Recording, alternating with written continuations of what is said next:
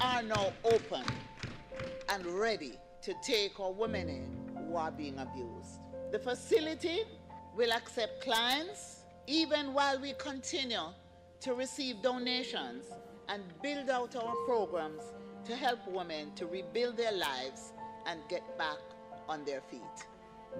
I use this opportunity, Madam Speaker, to read out the 24 hour hotline numbers for women who need the shelter 876 553 0372 or 876 929 2997. The other two properties are now in early reconstruction and or refurbishing stages and will be transformed quickly into safe spaces for women.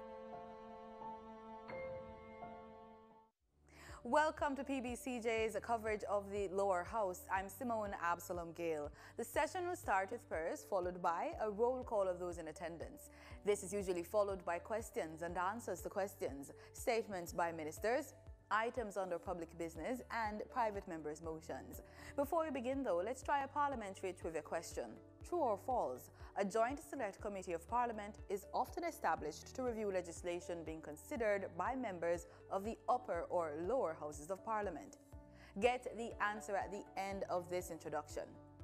In this session's agenda, Minister of Labour and Social Security, Pearnel Charles Jr., is down to make a statement under public business, the Appropriation Amendment Act 2024. That's what's on the agenda. It should be noted that elements of the day's agenda can be changed or moved. But before we go, here are a few things you should bear in mind if you plan to attend a session at Gordon House. No visitor shall create any act of disorder within the precincts of the house. No visitor shall be admitted to the house without first obtaining an admission card. Visitors who remain within the precincts of the House during a suspension of the session are asked to keep silent. No photography, videography, or sketching of the proceedings is allowed unless so authorized by the presiding officer. It's almost time to go to the main event, but before that, let's get the answer to the trivia question we asked. True or false? A joint select committee of parliament is often established to review legislation being considered by members of the upper or lower houses of parliament. It's true, joint select or standing committees are established under the standing orders of each house. The powers and proceedings of joint select committees are determined by resolution of both houses. For example, a joint select committee is established to review the job descriptions and code of conduct for ministers and members of parliament. The committee was also tasked to articulate an accountability framework. We can also remember that it was proposed that a joint select committee of parliament should be established to review the proposed amendments to the Domestic Violence Act. A joint select committee of parliament reviewing the Sexual Offences Act Offences Against the Persons Act and the Domestic Violence Act and the Child Care and Protection Act had recommended that a committee be established to review the Domestic Violence Act on its own. A joint select committee was also established to enact strong comprehensive tobacco control legislation at one point. Now, over to the proceedings.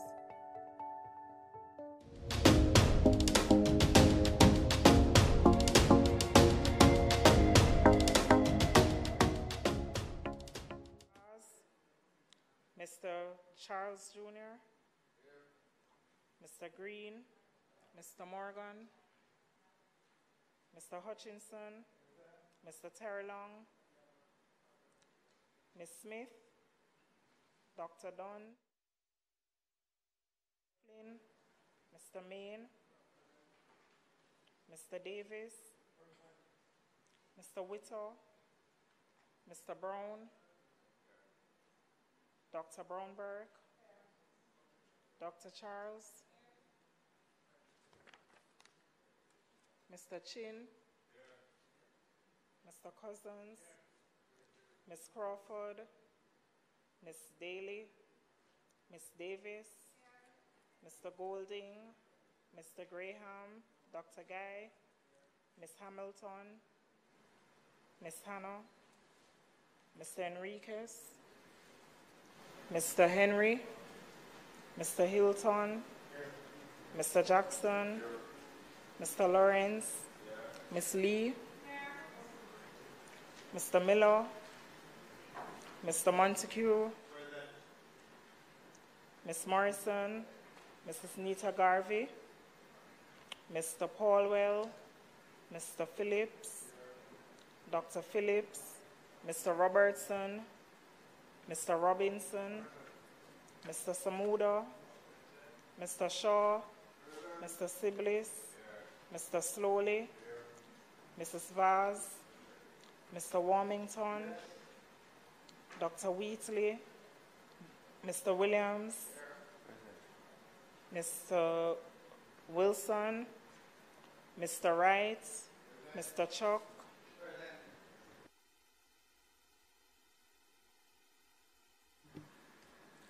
Statement by ministers.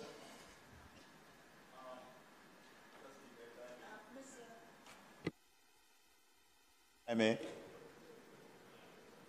Wait, they've, oh, Mr. Speaker, thank you for calling on the House Leader.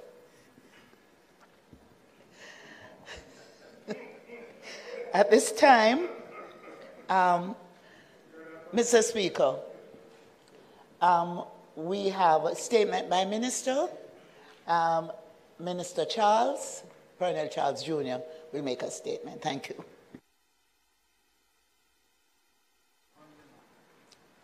before we get into the formal agenda, having celebrated Tacky Day yesterday and coming here to hear a prayer swearing allegiance to His Majesty the King, is it not full time that this Parliament reviews the standing orders and insert an appropriate prayer on behalf of the people of Jamaica to their sovereign God? Let us change the prayer. If we can start there. So I would, I'm trying to call on the leadership of the House because I understand that the Standing Orders Committee is in session and does have regular meetings. And I believe the time is here for us to examine that matter and to, as the process of constitutional reform gets underway, we could start with that. Minister.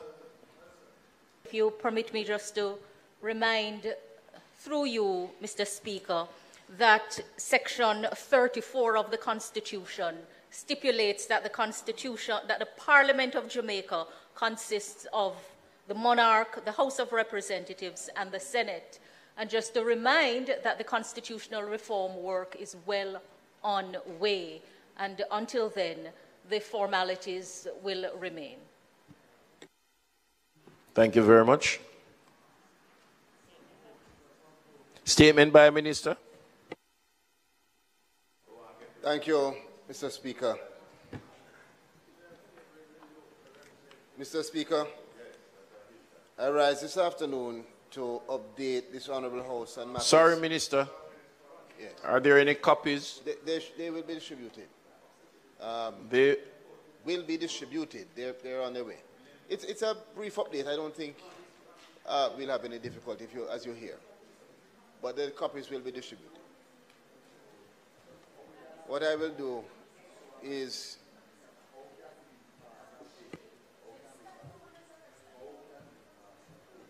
Madam Speak, Mr. Speaker, I've sent an electronic copy to um, colleagues and they can share it. But it, is, it will be distributed, and I don't think anyone will have a difficulty with what is said. With your leave, I'll proceed. continue. Thank you, Mr. Speaker. Mr. Speaker, this afternoon I rise to update this Honorable House briefly on matters relating to the Overseas Employment Program, better known as the Farmer Program, as per our commitment to highlight also a few of the plans going forward. Uh, Mr. Speaker, you will recall that we recently held a very successful and informative sensitization session with our members of parliament. Um, and we follow up with this statement to the nation um, on the updates and just on some of the, the matters relating to the vision going forward. We cannot deny, Mr. Speaker, that this program has had um, a massive impact on thousands of lives, um, individuals, families, communities. And as we move forward, we are making every effort to ensure the sustainability of this program.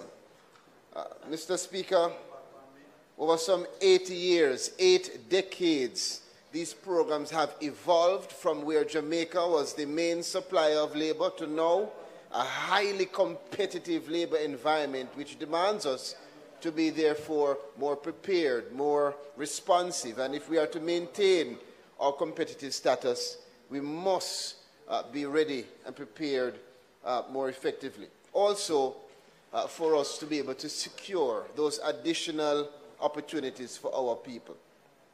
In the case of the United States, there are now more than 88 countries uh, that supply workers to agricultural employers. Uh, so, Mr. Speaker, this means that Jamaica must therefore take very active steps to grow our program and secure our competitive edge. During my ministerial visits to both Canada and the US last year, we spent a lot of time listening to employers and our farm workers and other stakeholders. Um, and they highlighted a number of challenges uh, which we are making every effort to address. Some employers expressed disappointment in terms of the number of workers who, get, who go AWOL, which is absent without leave. And we see this, as we have said several times, um, as something significant in terms of impacting and jeopardizing the program and for the other persons who have the potential of joining the program. So, Mr. Speaker, when we discussed this last year, we gave a commitment to improve the selection process and to better prepare our Jamaican workers, our candidates, to perform well when they go overseas.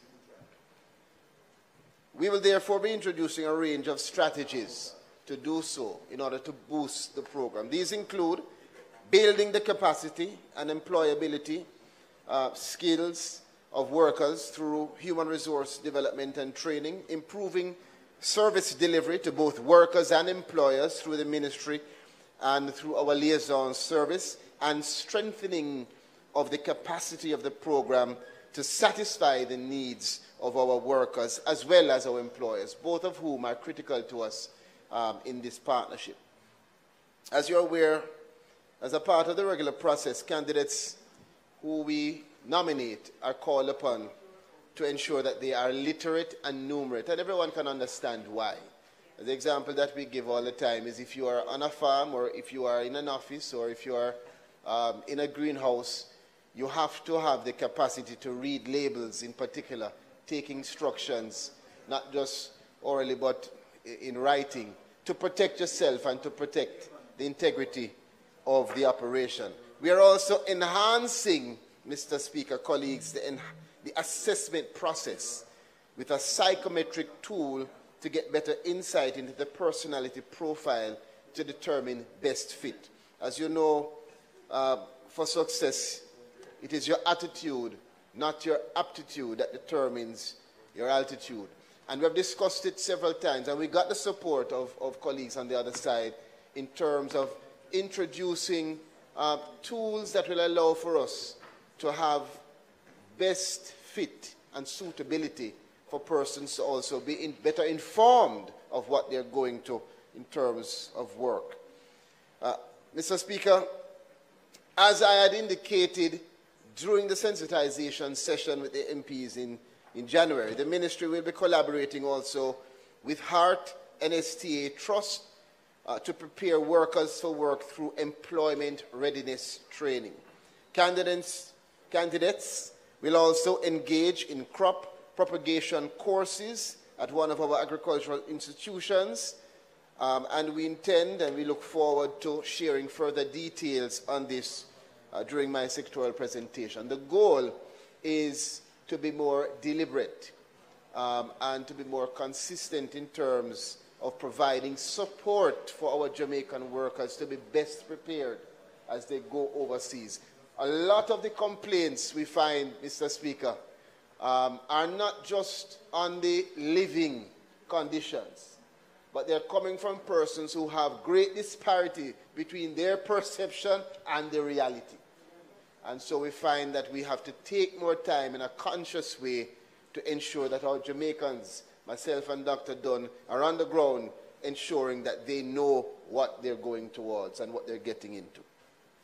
I want to encourage my fellow parliamentarians, Mr. Speaker, to conduct your own screening. I know that several parliamentarians um, have been doing this, and I want to use this opportunity to thank the several on both sides who have come to me and given some insight and recommendations in terms of the process that you utilize uh, and how we can help to streamline that across the country. The goal is to make sure that we are selecting the most suitable candidates for the program. And let me reiterate at this time the criteria for participation. Mr. Speaker, uh, to satisfy, to, to, to be eligible rather, you must be between 21 and 45 years of age. You must be literate. You must be able to read. You must hold a valid Jamaican passport. You must have a NIS and a TRN, no criminal record, able to work long hours and to perform work that is physically demanding. You must have some experience in farming and preferably be registered with RADA. Uh, you must never have been previously disqualified from participating in any of the ministry's overseas employment programs due to medical or any other reason. And finally, uh, we require that you have not been deported from any country. Mr. Speaker, to assist our MPs' efforts, the Ministry of Labour and Social Security will be hosting two online sessions, and we've put it online to make it easier, less burden for persons coming from far. Um, but two online sessions to help to provide guidance to our parliamentarians or your representative in terms of the process to conduct pre-screening activities. So we're not just telling you to do it, we are giving you the support and the tools needed as members of parliament, as teams in your constituency to effectively carry out uh, the pre-screening. And this is going to be done. Both sessions will be held this Thursday, April 11th, and those details were sent to members of parliament previously. The measures mentioned above, Mr. Speaker, are aimed at improving the program. That's the bottom line. Building trust and cooperation of workers and the long-term commitment of employers. These are the important elements for the development and the further growth of this very important program. So we look forward to our members of parliament or the representatives that they choose being a part of these sessions. Um, and again, if members of parliament check their email, they would have received a very important email with specific details to guide you on who to call if you need further information and also on the process that we're engaging this month. Thank you, Mr. Speaker.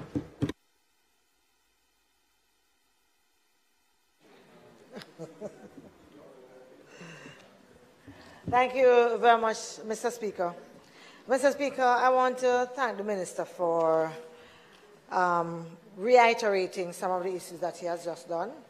Um, we did have the session um, earlier where a number of persons participated and a number of the issues that you have raised here we raised and we had that discussion. Um, I understand the importance, especially as we are now entering into another cycle of selection. So I think that the information is um, welcome and it is important so that the rest of the country is also fully aware of that. Minister, I, I, I um, uh, as I did before, I welcome the employment readiness and that kind of training that we are doing. I want to make sure, though, against my own experience and the experience of many others, that the sequence of nomination, training, selection, and so on, and the new strictures that we're putting in place, that they're done in a way that does not increase the possibility of subjectivity, yes, or of any interference.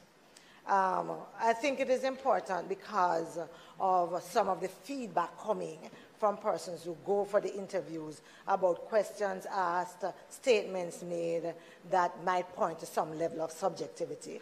And I kind of just want to make sure that that isn't, isn't so. Um, I'm learning a little diplomacy. um, so, so, that is one. The other, Minister, and you spoke about it, it, you are absolutely correct, that we have to have a balance between uh, the workers and their expectations and what they're going through and um, what they're seeing and the complaints and so on, as well between that and that of the farmers in terms of the standards that they have there and in terms of all of that. If my memory serves me right from all of the documentation that we have seen, a big issue is really about making sure that there is a clear channel um, through which individuals can actually make complaints and that they can feel as if those complaints are being taken seriously. Yes? Um, and I am hoping that part of what we are doing is also ensuring that the role of the liaison officer, for example, is one that helps to close that gap where persons thought that they really were not being properly served. So um, I, I, want to say that. I also um, want to make sure, Minister, that with what we're doing now, that we can also have a more consistent follow-up in terms of once we have sent in the nominations, what happens. Because often as members of parliament, you only hear of anything happening when somebody comes back and visits the office and says to you that, you know, I went up and I came back. We are not regularly, I'm not saying we have not been, because sometimes I know we have gotten the reports and the feedback, but it has not been consistent, yes?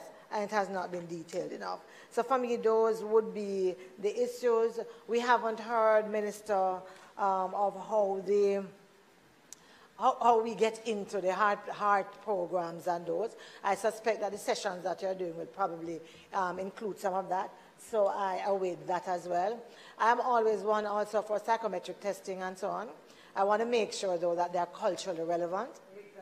Um, because sometimes we tend to adopt and adapt some of these um, principles that are sound, but they are not necessarily culturally um, relevant in terms of their application for us.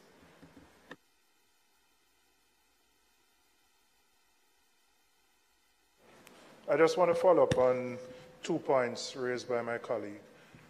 In terms of the criteria for selecting the persons to go on the program, I think it's important in feedback to indicate to applicants where they may have been deficient in the process. So, for example, as an urban MP, most of my applicants will not have farming experience, apart from backyard farming.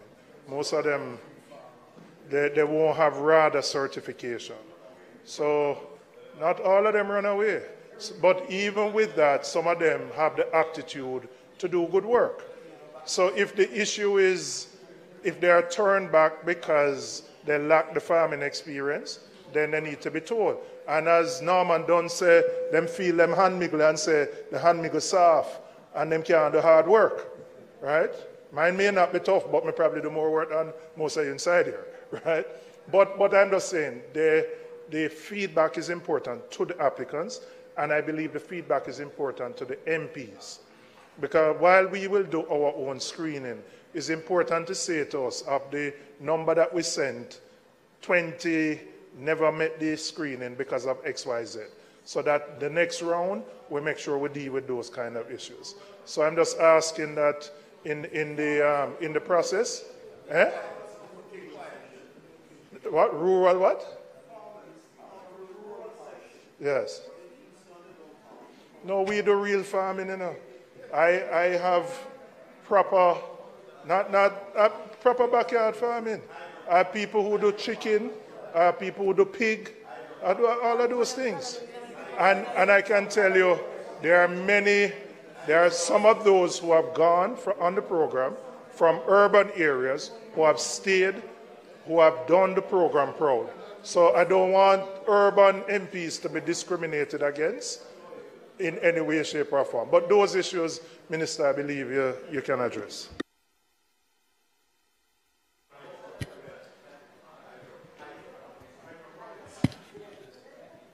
Minister,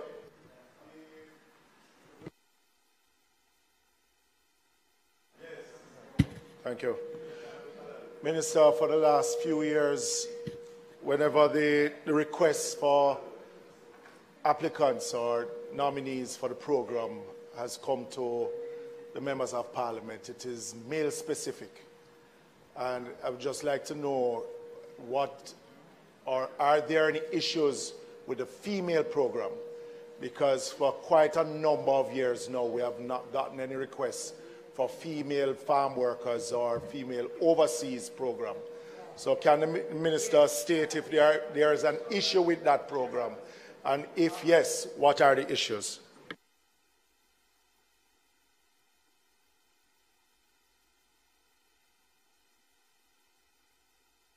Thank you, colleagues, um, for your questions and your comments and your recommendations.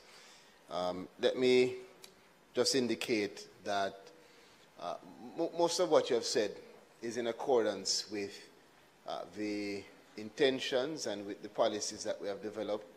Um, uh, the psychometric test is intended to identify persons who have the right attitude, and to complement the competence and ability because it is clear to us in our discussions with employers and also with the more experienced farm workers that simply knowing about farm work or simply being able to do farm work is not sufficient for you to handle and to really to perform well in the program.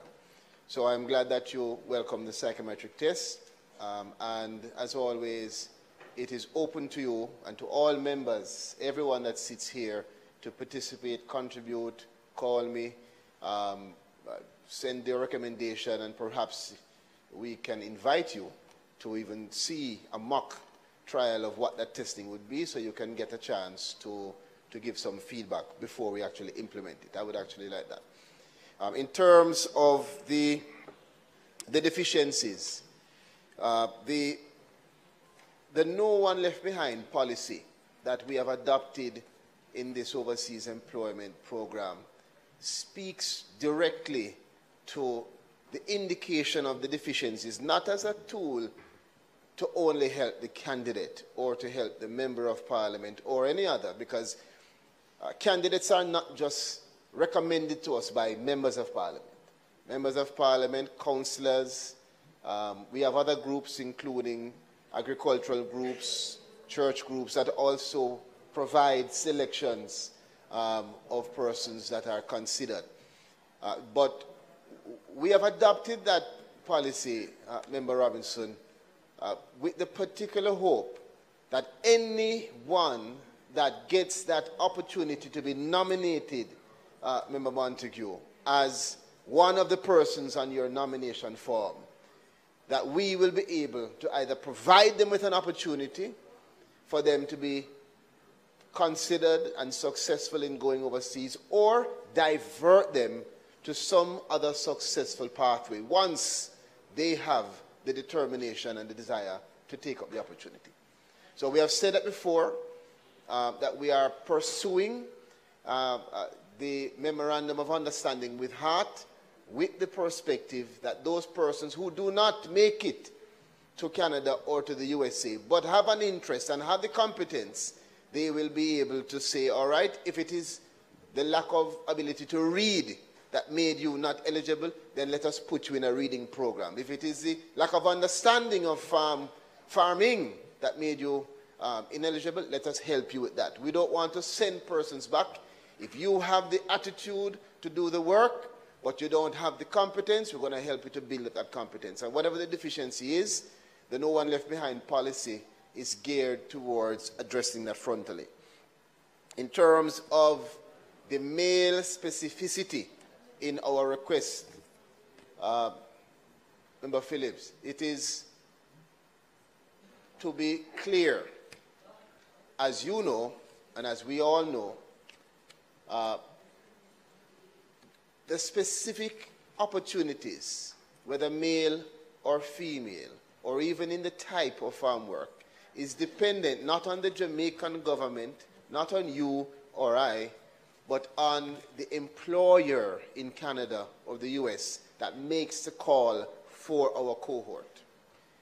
Uh, what we have found, as I have announced before in this House, is that in recent times, uh, there are several challenges and issues, not just specific to our attitude or, or our conduct, but simply even issues in terms of weather and other things taking place in, other, in our partner jurisdictions that have caused uh, the reduction in opportunities in some areas. One of the areas happens to be in the opportunities for females in the agricultural program. And that is something which we have indicated before.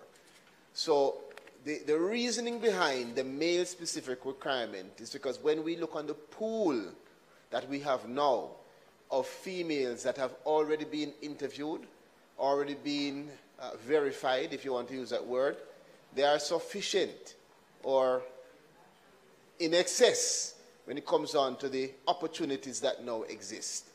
That, however, should be understood in the context of the several efforts that we are making as a government to target and to expand those opportunities. So we're not sitting back and saying, well, there are less opportunities for women, so no cards. No. We acknowledge the reality. We express that to the country. We're, we're working within that reality, but we are doing everything we can to build relationships to see if we can um, enhance and expand opportunities for women in the agricultural program, while we also recommend to our females to make sure that they look on the hospitality program as a very good opportunity. Even though the hospitality program is capped, once you have the certificate and the experience, we encourage you to send in your resume so that when we get the calls, which are not as perhaps systematic as the agricultural um, program, sometimes you may get a call in January, you may get a call in May, you may get a call in November. But when we get the calls, we want to have a strong pool of Jamaican candidates, male and female, who have the competence, the certification, and the experience in the range of opportunities there are in the hospitality sector so that we can send you um, for that program.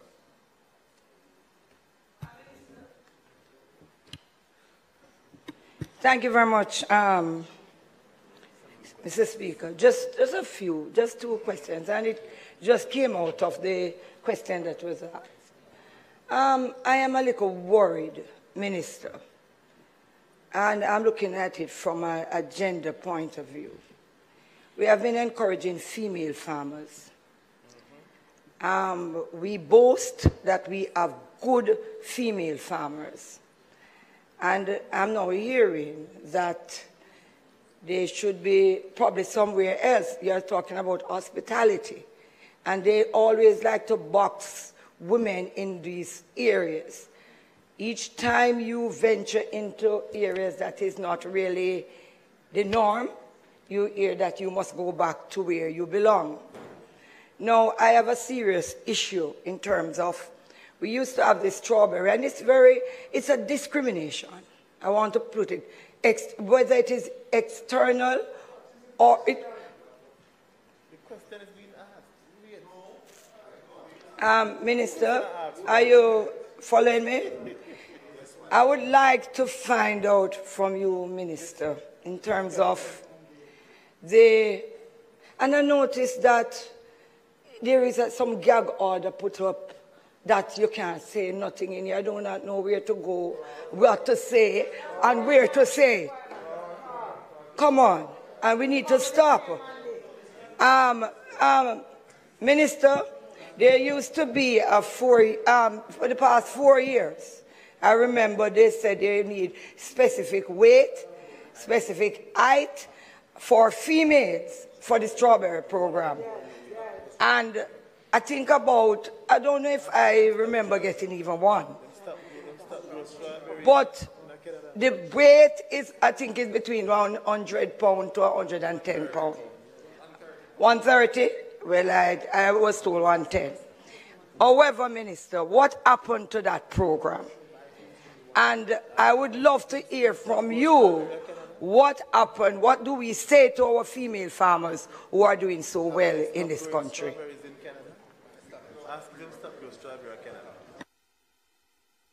Minister, before you respond, members, I just want to read from the standing order once more.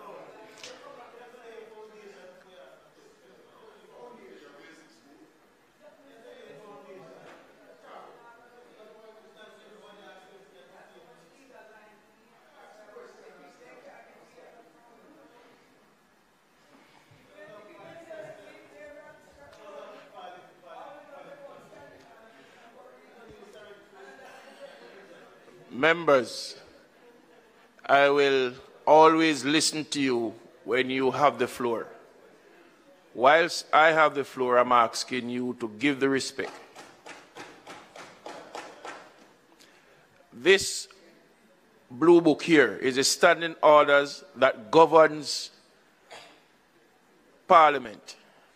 And so, at section 11A, statement by ministers, Subsection 1 reads A statement by a minister shall not exceed 12 minutes in duration and shall be limited to matters which directly relate to the subject or department with the responsibility for which he has been charged or which are of urgent or national importance. Section 2 A response to the statement by a minister shall not exceed five minutes in duration and shall be made by the relevant opposition spokesperson. Section 3. Any member may pose a question on a statement by a minister in accordance with Standing Order 17, subsection 2. I am just asking, I am just asking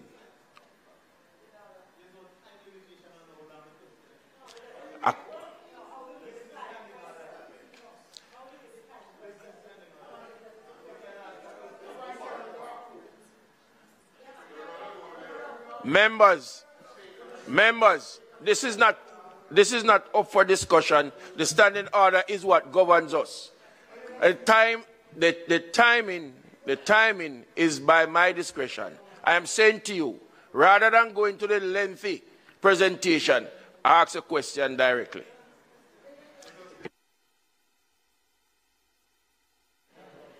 Just a brief comment on your remark. Mr. Speaker, we do acknowledge that that discretion is reserved for the Speaker.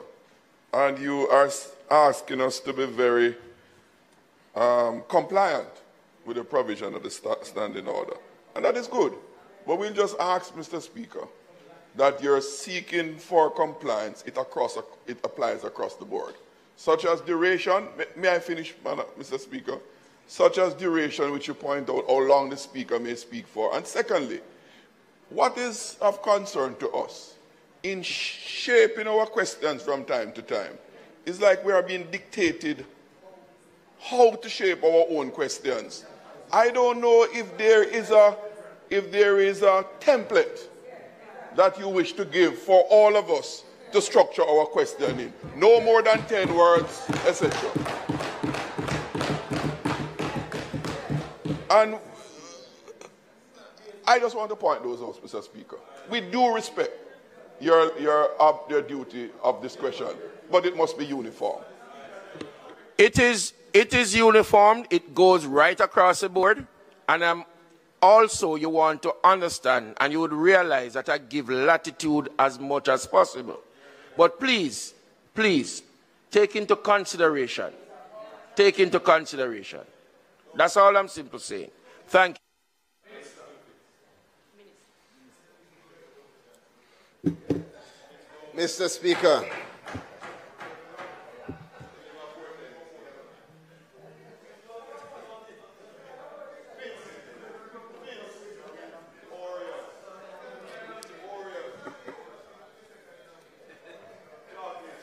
Mr. Speaker,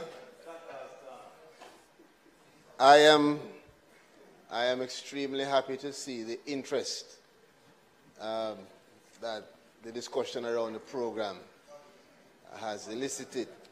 And I'm also very, very, very pleased to see that we're getting questions. I want to thank the member from St. Catherine Eastern for her question because it gives a very good opportunity to provide clarity and certainty to the country. Because many persons, many, many persons actually think in the same way. And so it's an important thing to ventilate.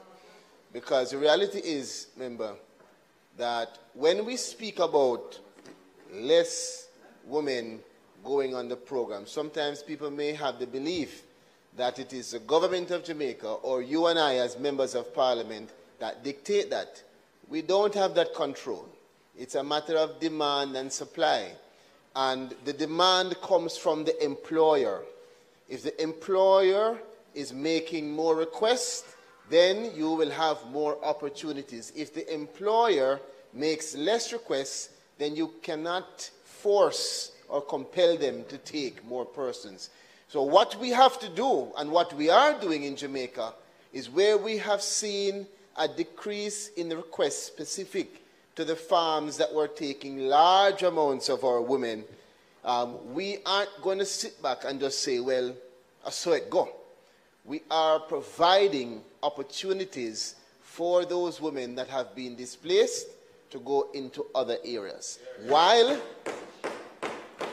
while at the same time, we are providing and encouraging and building confidence and better relations between ourselves and employers to either reinstate or to identify new and emerging opportunities for both male and female workers.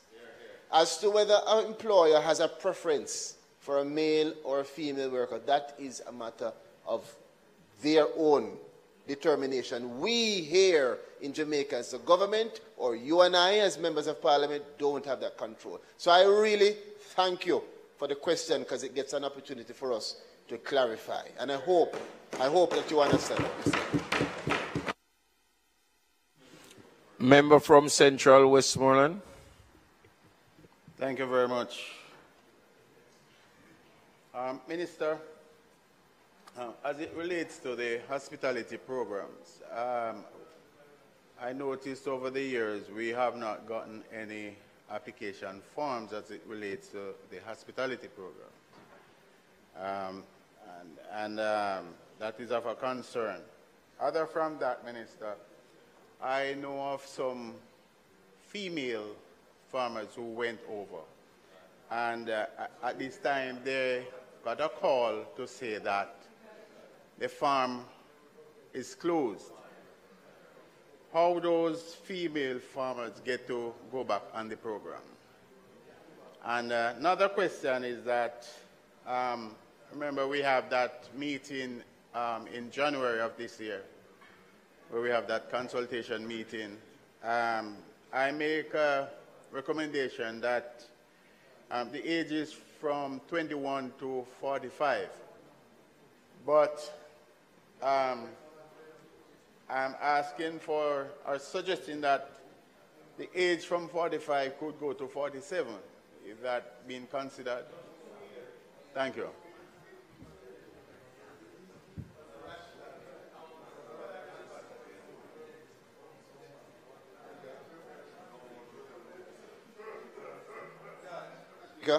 Thank you. Uh,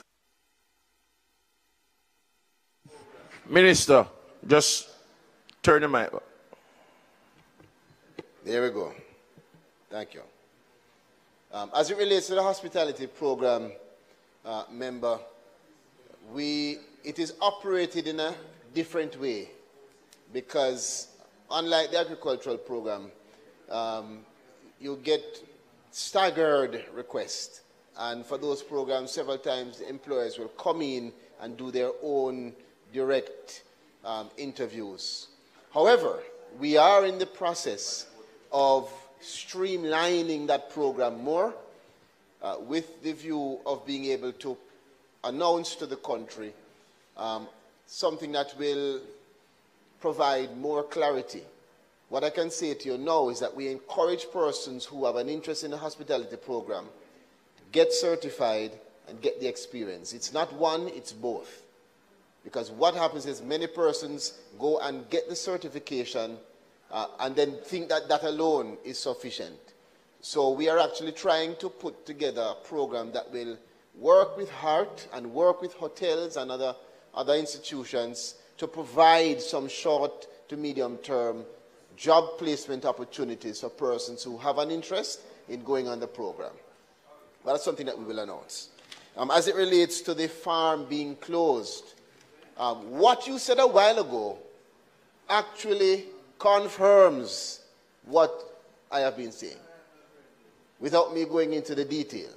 There are farms that, for reasons beyond our control, are either closed or they are transitioning into something out of agriculture or they have determined on their own that they have a preference for something else or for another jurisdiction or whatever the reason is. But it is up to the employer if they want to continue their business. And once they have closed, what we do is we ensure as best as possible at the first instance that those women or men are placed in whatever opportunities are immediately available. If there are no opportunities available, we put them back into the pool of individuals from which we select, and they are given preference because of their experience and because of the circumstances um, when it comes on to the new opportunities that will emerge. So that's really why we spoke about looking towards alternatives for um, for the, the workers.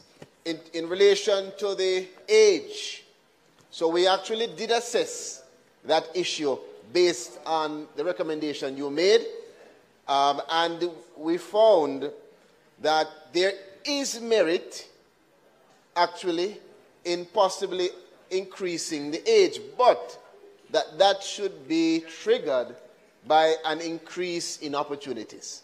So what we wouldn't want to do is then end up increasing the age and us having more people waiting and having frustration. Because that is one of the major issues that we here face.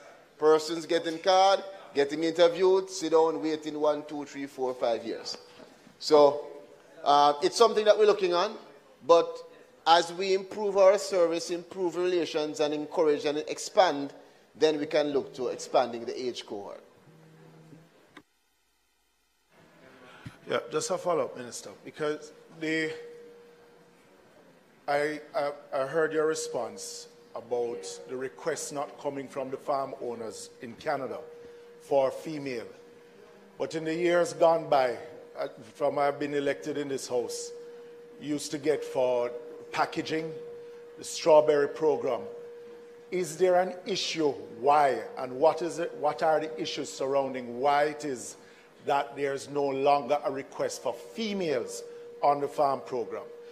And we have to be careful also, Minister, on the narrative that, that, that, that we leave out there.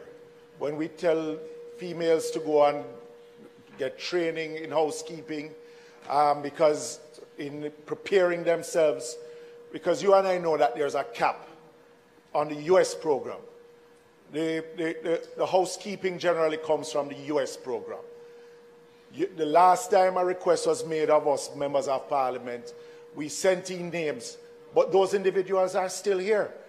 So when we build an expectation, when there is actually no, no recruitment from the employers, the pressure comes back to our office and it is said that there's a program out there that the minister says that is out there, and that we are selecting only a few when there's none. It is a similar situation, Minister, that when there is no recruitment taking place on the farm work, persons go to the Ministry of Labour and they are sent back to the, the MP's office. We have asked on numerous occasions that that is dealt with, but it still remains. What, if you were listening, you would have heard the questions before. What are the specifics in why it is that the female program, where the Canadian aspect of it, why is it that for the last four or, or more years that there has not been any at all? Because I am sure that the, the other farms that are employing, the farms employing in Canada, are employing females. Why not Jamaican females?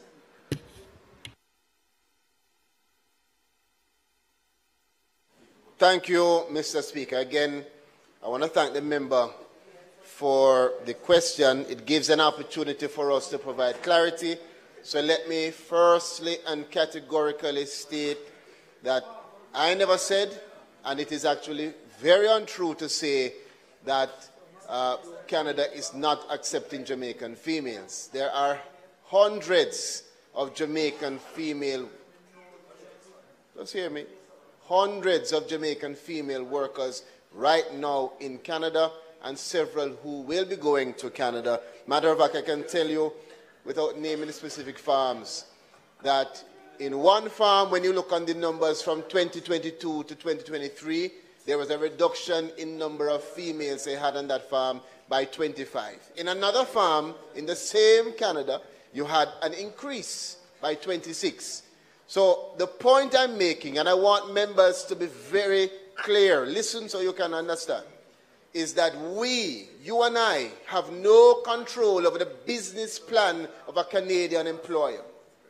They are the ones who determine if they stay in agriculture, if they take more males or females, or if they take persons uh, from Jamaica or from another jurisdiction. What we do is we assess and we analyze, and the facts are showing us that in aggregate, when we put everything together, the numbers of opportunities for our female farm workers has been reduced.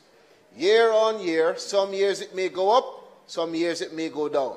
But for us, when it goes down, the reason why you don't see new persons coming on the program is the same example I gave to a member from Westmoreland. When a lady or when a female or a male is displaced, they then become first in the pool. So if you had 800 female workers in Canada last year and it goes down by 200, whenever opportunities come back up, those 200 are the first to get the opportunity. So it may mean that the new ones who were interviewed and have not gone may say, well, why am I not going on the program? The program is shut. No. It's just that we are trying to ensure that those displaced persons um, are put back into the program first. However, the solution is what we're moving to as a government. And the solution to this is to build relations, to encourage more opportunities for Jamaicans. Minister, and to you, you have to wrap up now, please. Thank you. Thank you, Speaker. And to make sure that we provide alternatives for those persons who have been displaced. And those are the three things that we have said we are doing.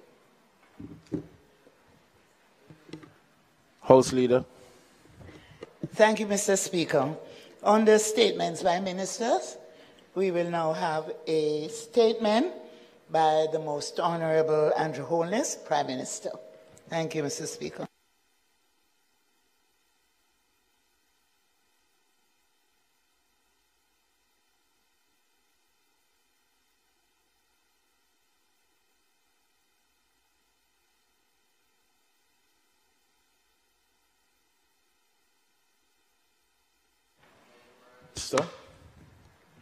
Thank you, Mr. Speaker. Mr. Speaker, I rise today to update our nation on the pervasive and debilitating drought that we are currently experiencing. It is important for this Honourable House to be informed and to share an up to date assessment uh, and projections from the Meteorological Service, the Water Resources Authority, and the National Water Commission.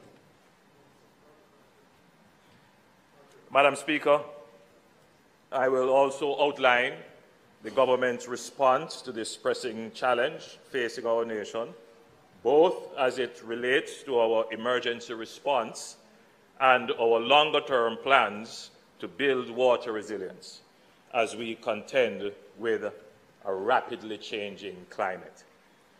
The devastating impact of drought on our people, communities, economy, and environment is a focus of my administration, and your government is working to reduce the impact on the nation.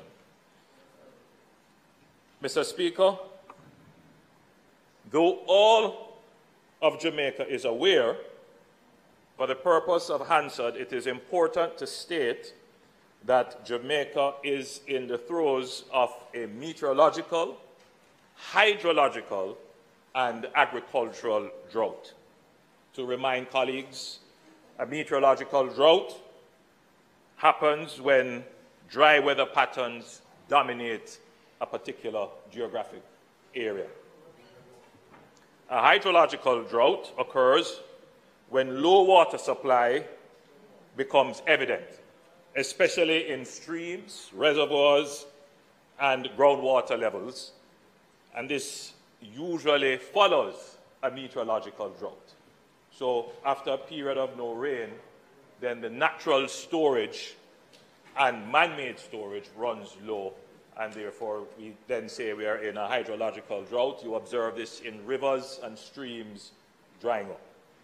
And then, Mr. Speaker, we have the agricultural drought, and this happens when crops are visibly affected by the lack of rain or irrigation from stored sources.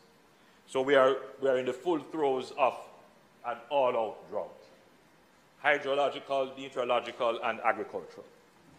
And I don't know if we have displays. The parched earth and burnt hillsides bear witness to the severity of the crisis. There is no parish that has been spared, but the western end of the island has been disproportionately affected. The toll it has taken on our agricultural communities is immeasurable, with livelihoods lost and futures uncertain.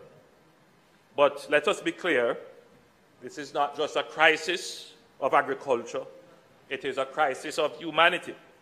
Behind the statistics and economic losses are the faces of our citizens grappling with the hardship that lack of water presents, grappling with the inconvenience. Uh, as one person pointed out to me uh, yesterday, it is the most difficult thing for our parents not to be able to send their children to school simply because they have no water to provide for the domestic needs. And that is indeed a situation that is repeated right across the country. Jamaica's current conditions are characteristic of the traditional dry season, which would normally run from December to April each year.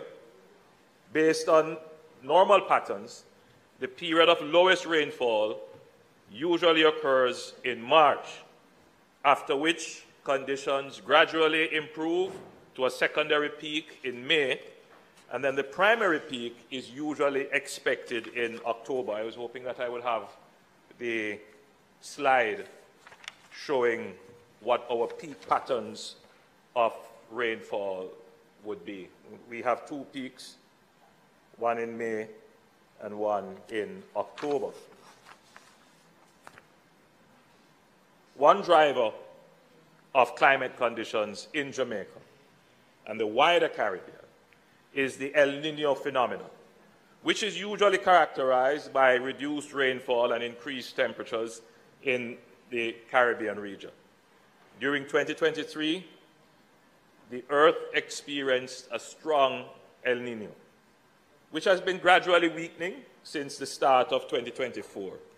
Its impact, however, is still being felt in the rainfall patterns of the wider Caribbean and other regions across the world. Relating to the rainfall trend consequent on the El Nino and other factors, in October 2023, Jamaica experienced below normal rainfall during the primary rainfall month of October. This impacted primarily the western parishes of St. James, Hanover, Westmoreland, and St. Elizabeth, as well as southern parishes of Clarendon, St. Thomas, Kingston, and St. Andrew, and even Manchester.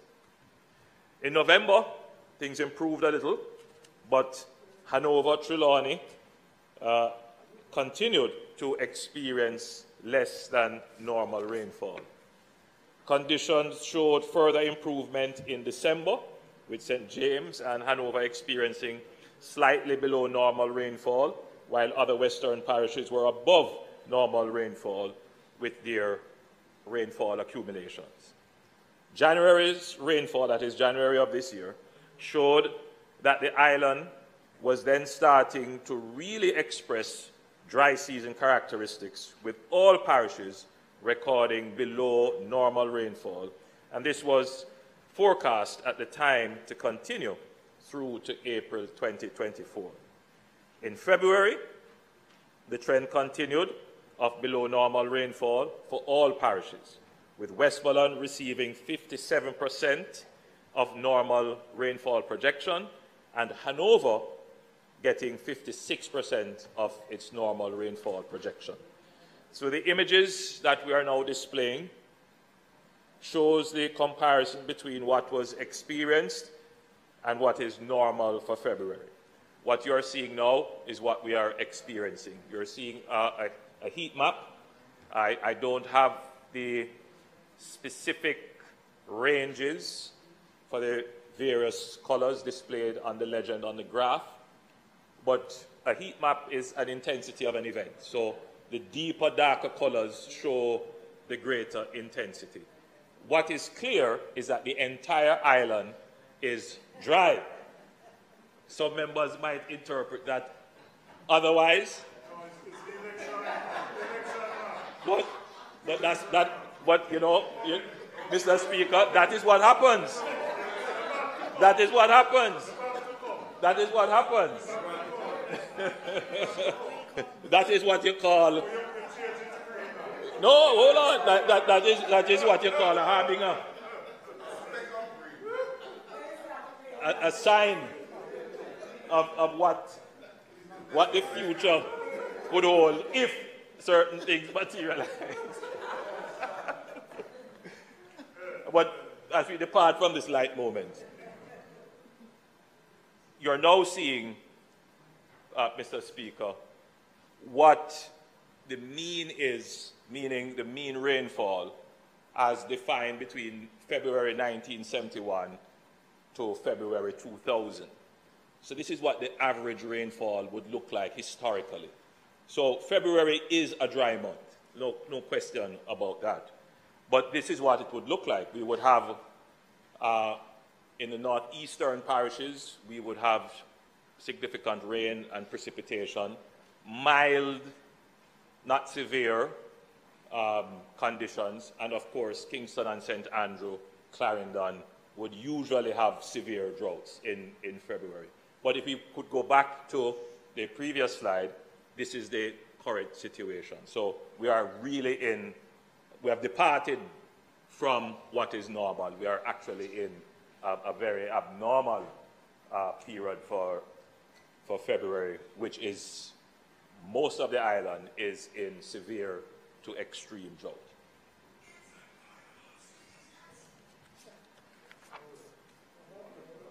Based on the low level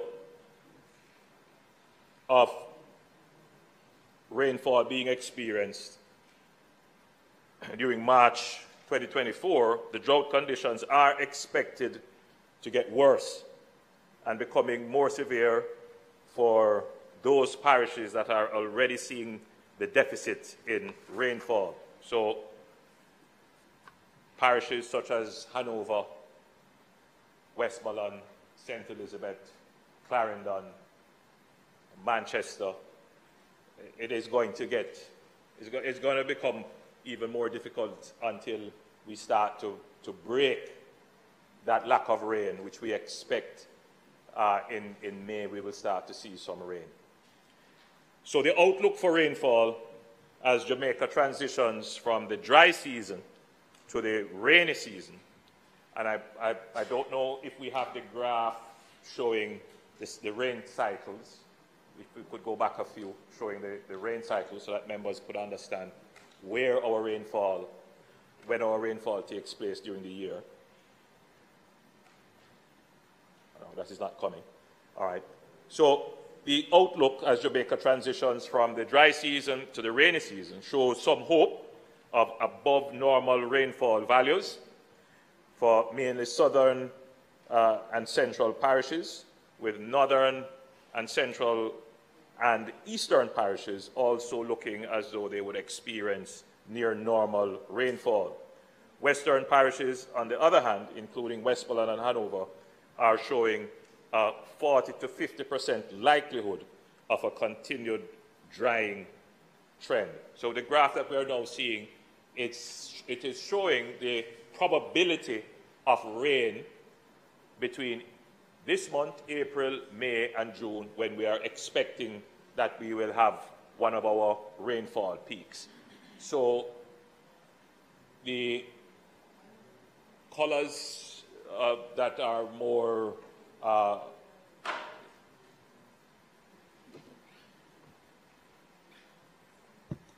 Mr. Speaker, I ask that um, Prime Minister be allowed sufficient time to complete his presentation. The rec-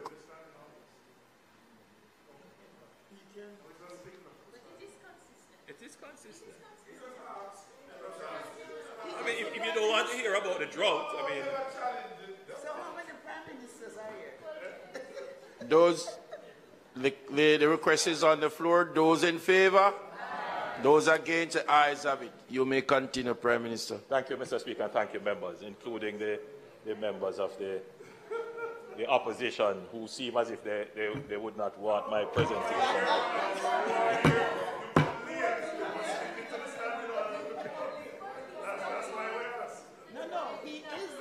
All right, so, Mr. Speaker, the graph being presented as I was explaining shows the probability of rainfall during our, our one of our peak months for rainfall.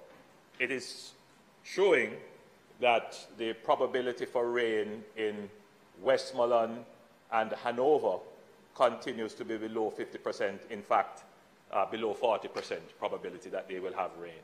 Uh, the rest of the island is in the 40 to 45%, which is, which is still not good, but better than uh, below 40%. Uh, and some of some areas show above 50%. Uh, thankfully, Clarendon uh, and Manchester shows that they will have uh, good probability for rain. So, Madam Speaker, we are expecting that the drought conditions will ease after the, forgive me, Mr. Speaker, that the drought conditions will ease uh, in another four weeks or so.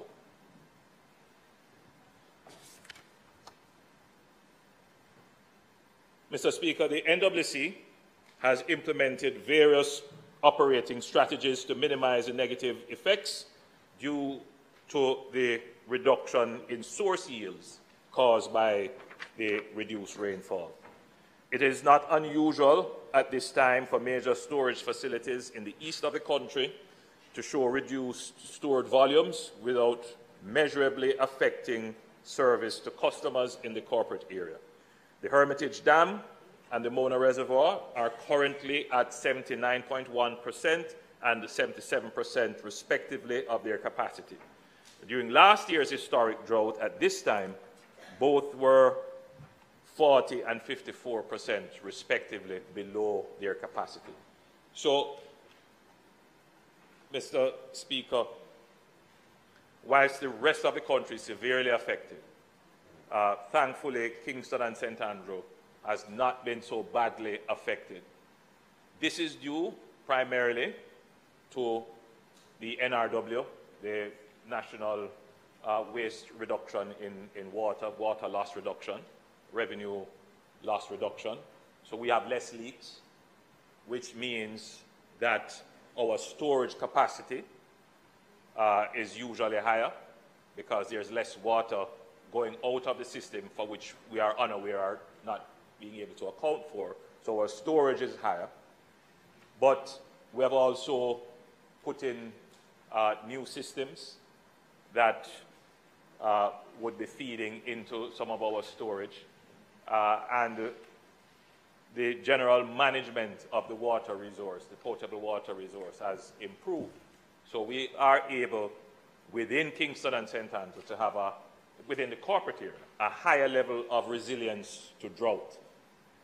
We need to build this resilience across the, the island. At the other end of the island, however, the Logwood water supply system that serves Negril and environs in both Hanover and Westmoreland is currently receiving only 50% of its normal yield. So that's much worse than last year. The other affected systems by parish, and I will go through them in some detail so that it is on the record and the country understands the challenges that we face. And I, I pointed out specifically that Negril and Westmoreland, they are now 50%, 40 and 54% respectively uh, below what their capacity should be.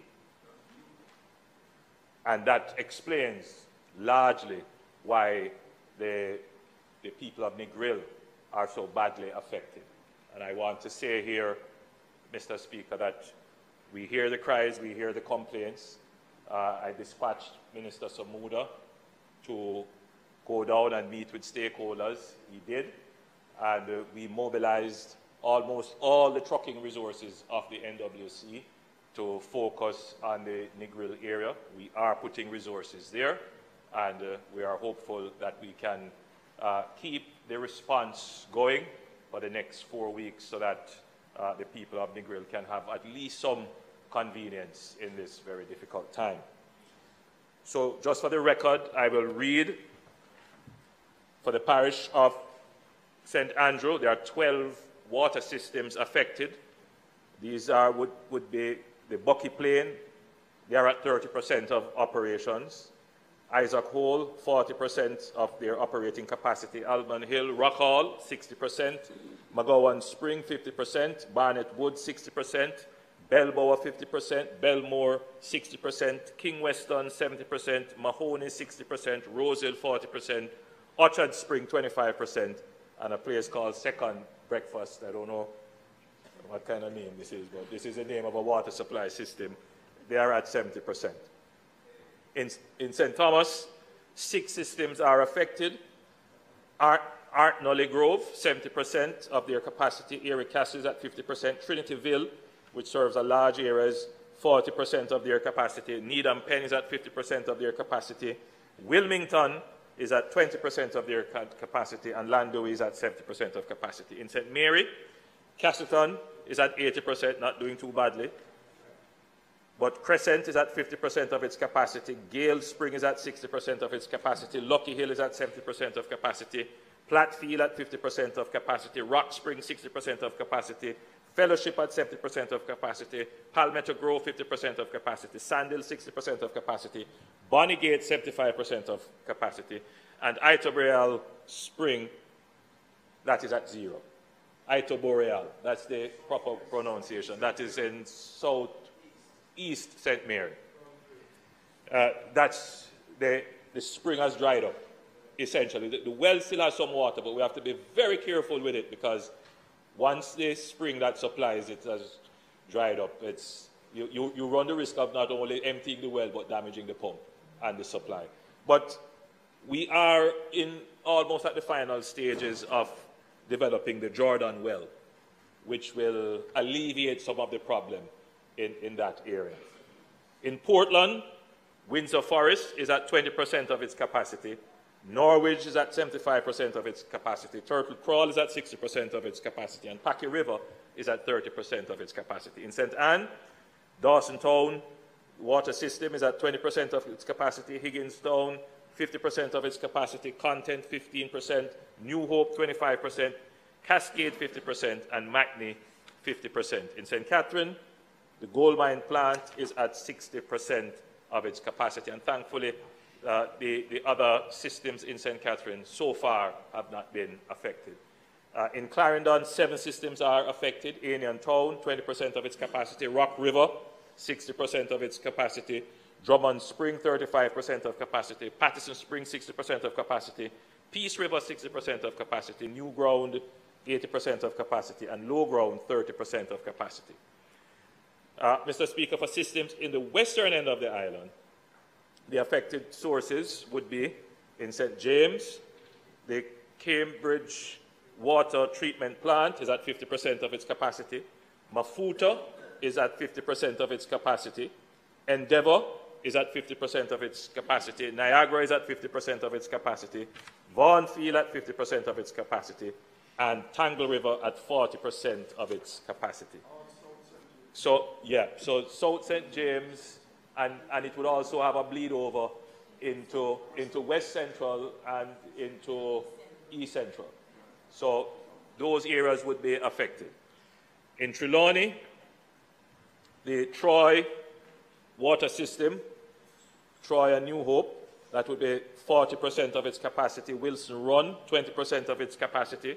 Ulster Spring, 20% of its capacity the Queen of Spain, 1, 3, and 4, they are at, well, 1 and 4, in, those are in Trelawny, uh, would be at about 75% of capacity. And one of them, I understand, is actually out of operation. So Trelawny will be affected, but it's, it's, it's not as widespread because only five systems. Um, in Manchester, Moravia, 50% of their capacity. That's what they can, can do. They, in fact, they only operate for 12 hours daily because they, they just don't have enough water to pump consistently. And Cowick Park Spring, they are at 75%. That's in your constituency.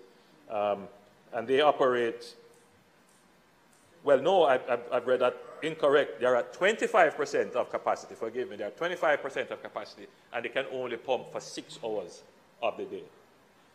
Um, in Hanover, the Logwood system treatment plant, that they're down to 50% of capacity. Uh, New Mills, they're at 65%, and Kendall is at uh, 50%. In Westmoreland, the Bulstrode water treatment plant, they are only at uh, 80% of capacity. So in total, 64 systems island-wide are affected and uh, on average, most systems are between uh, 40 and 50 percent of capacity. So that's, that's a significant impact on the ability of the country to produce and therefore distribute water in its utility systems and um, ancillary systems. So there is no doubt that the impact of the drought is extensive and that the impact on the NWC is not only extensive, but deep. So what will be the government's response? Drought is not a new phenomenon in Jamaica, but the severity and frequency of recent droughts demand a concerted and comprehensive response. We cannot simply wait for the rains to come. We must act decisively to support those affected and build resilience for the future. Mr. Speaker, your government is doing just that. First and foremost, our response must be grounded in empathy and compassion for those enduring the hardship of drought. To the farmers and rural communities on the front line of this crisis, I give my unwavering commitment to stand by your side and provide the assistance you need to survive and indeed recover and thrive from this drought. That is why the government is implementing a range of measures to support our farmers during these challenging times. This includes the emergency funding, which we will put in place in the amount of $150 million for the trucking of water and procurement and distribution of a limited amount of water tanks. And let me just explain that, Mr. Speaker. We will make an emergency allocation of 150 million Jamaican dollars.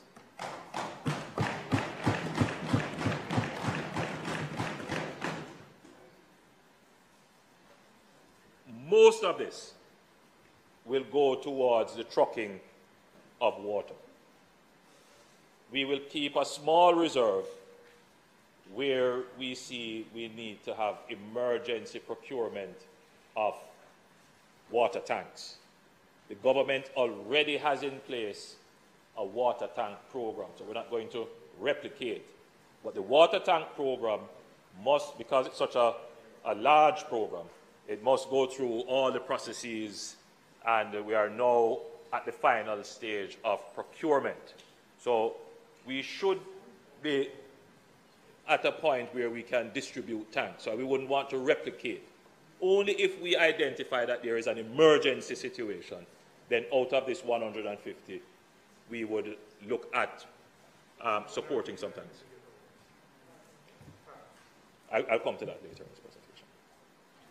So, initial, initially, Mr. Speaker, we will give each, well, let me, let me be clear on this.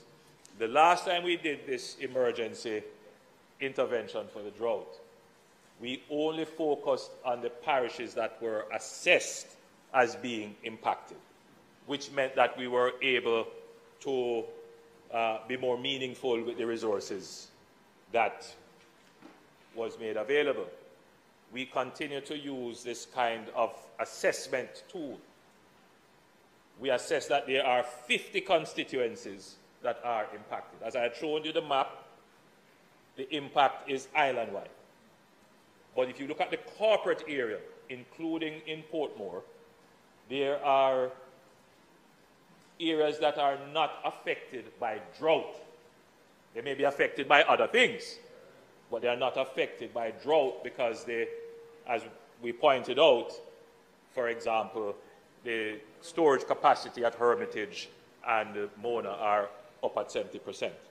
So we want to make sure that the resources that we have are targeted to the areas that are really in need. So there, there are 13 constituencies which will not benefit from this distribution of resources, but 50 constituencies will. I'm, I'm not going to name all the constituencies. So, so yeah, there are some constituencies that, that, don't, that don't, to be fair, they don't, they don't need it. No, I'm, I'm coming to the tanks. Right. So, so we, we, I, I, think the way in which we are doing it is the most economical way, focusing on the, the areas that really need it. So, for those 50 constituencies, they will get 1.5 million for trucking. And I, I can say that the constituencies are all that will get this. Most, if not all of them, are rural. So it's, it's really the rural constituencies that will, that will get it. Uh, there might be a few in the St. Andrew area, but then those are considered as rural as, as well. No, this, this, this is not, I, well, I'll, I'll, come to that in the, in the presentation. But for Clarendon, we will give Clarendon Southwest, Southeast, Central, Northwest, North Central, North, an additional $2.5 million. And the municipal corporation will get $5 million. And, and the reason why we do it this way is that um, the municipal corporation, there is an intervention that comes through the NWC and through MPs. But the NWC's intervention is limited to precisely, it's limited to their, to their utility um, customers, people who are customers of the NWC, or to critical public installations, schools, hospitals, police station, government offices, and so forth. But then, as we know, there are many communities that are informal settlements. They don't get their water through a utility service. And there are also many customers who get water from ancillary services. They, they get water from a local system, from uh, entombment of a, a small river or a spring or a catchment. And those might also be running dry. So we give an allocation to the parish council for trucking to be able to reach those communities that are not on the utility network. So in St. Elizabeth, St. Elizabeth Northeast, St. Elizabeth Northwest, St. Elizabeth Southeast, St. Elizabeth Southwest will get, those constituencies will be allocated an additional 2.5 million on top of the 1.5 that they would normally get. And uh, the municipal corporation will get $5 million. In Westmoreland, Westmoreland Central, Westmoreland East, Westmoreland West, those constituencies will get 2.5 additional, and the municipal corporation will get $5 million. In Hanover, Hanover East and Hanover West, same 2.5 million additional, but we will give the municipal corporation $7.5 million, uh, spe specifically to assist within the Negril area where the, the issues there are significant. Uh, in St. Ann, St. Ann Northwest will get 2.5 million and the municipal corporation will get 7.5 million. Um, so we will have reserve of 5 million. And that reserve we will use to treat with the 13 constituencies that are not given an allocation, but if an, an emergency were to arise or the member of parliament is able to point out that there is a specific community that needs some service, then from that 5 million we would be able to respond over the next four weeks. yes, corporate area. Yeah. So, so I think the way in which we have approached it, Mr. Speaker, is fair, given the nature of the, the, the problem. There is a reality that this funding will not do everything, and I want to stress that. Uh, one, one member of parliament pointed out to me when I was discussing this that whenever I come to parliament and make these announcements, the constituents believe that the world has been given to the member of parliament. And I, I want to say that $150 million is not enough. It cannot solve the problem entirely. However, it is what we are able to do right now, and it is for a short period of time as we expect that we will get rainfall starting the end of April into May.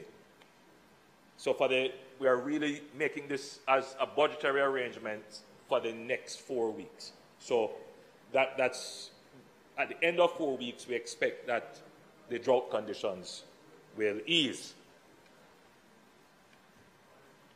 I wish to assure the citizens of Westmoreland and Hanover, particularly Negril and environs, that we will continue beyond this allocation if, as projected, dry conditions persist into the summer.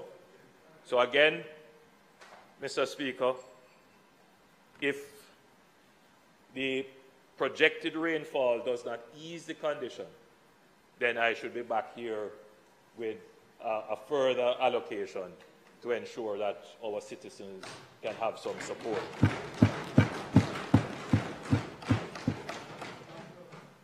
It is also important that I note the impact on the citizens in Brownstown. And, Mr. Speaker, I must point out that they have been very patient and very understanding. Uh, their situation is not so much caused by the drought conditions, but uh, there was a failure of a main system. In fact, one of their pumps went down, and, uh, and the collapse of, of, of a well. Um, we are now, Mr. Speaker, uh, quite advanced in making the corrections to, to that problem. In fact, during this period, the NWC made a 30, we, we provided for the NWC $30 million to support the trucking and provision of water to the residents of Brownstone. I know that is no comfort having been with water for so long, but it's important that the country knows that an important town like Brownstone was without water. They weren't just left. The, the government made several interventions, including the provision of trucking of water. And we are quite advanced in finding a solution to the problems there. I also wish to note that the parishes of St. Elizabeth and Clarendon have also received additional support from the government as they have been affected. And, Mr. Speaker, these measures should not be contemplated as the sole response based upon potable water. The Ministry of Local Government, Mr. Speaker, is giving support to several communities. Uh, in fact, they have allocated $100 million for trucking, and indeed the parish councils are themselves uh, giving support for trucking to communities that have been affected. But as I said, Mr. Speaker, the response is not just for potable water. The Ministry of Agriculture has been, Mr. Speaker, very active in providing water to our farmers. So, a number of farming communities have benefited. The Ministry of Agriculture and a team from RADA have made significant effort in supporting several communities in Clarendon, St. Elizabeth, Manchester, and Trelawny.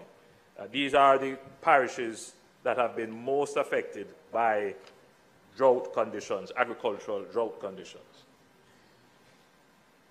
The Ministry of Agriculture has a now well established system of mitigating drought, and uh, they have started the trucking of water to the parishes of St. Elizabeth and Manchester through the Rural Agricultural Development Authority and uh, they have also started to provide more water supply through the National Irrigation Commission. And during the period January to March 2024, over 9 million gallons of water have been trucked to approximately 900 farmers to alleviate the impact of the dry spell.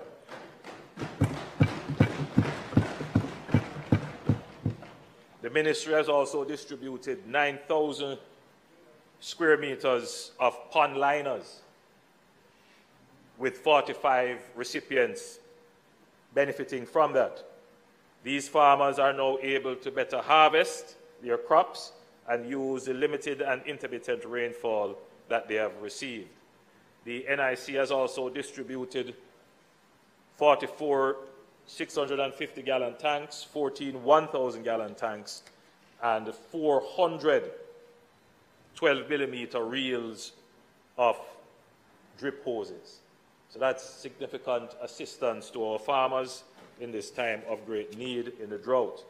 I have instructed the Minister of Agriculture to ramp up the program as we enter into the heights of our dry season, and the ministry has earmarked $60 million to treat with the trucking of water, provision of additional drip irrigation support, uh, and other support for our livestock farmers. So Mr. Speaker, the government is responding on all fronts to the drought. I wanted to point out briefly, Mr. Speaker, that we would have seen in the news where a water tank was stolen from the Negril Primary School. All I can say about that, Mr. Speaker, is that this is despicable. Despicable. in a period where the country is grappling with this national crisis. Someone would seek to deprive a school of its water storage capacity. I urge the police to investigate it thoroughly and recover the tank and bring the perpetrators to justice.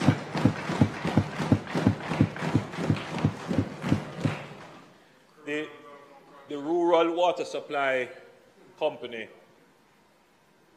has done several projects with our schools, uh, including building storage tanks, some, some very innovative uh, architectural designs were used to incorporate stairwells and turn stairwells into storage tanks. So, having seen this come up on my radar again, Mr. Speaker, I have given directions that the Rural Water Supply Limited partner with the Ministry of Education to do a national assessment of our schools to see what capacity they have, what facilities they could have that we could create water storage for them.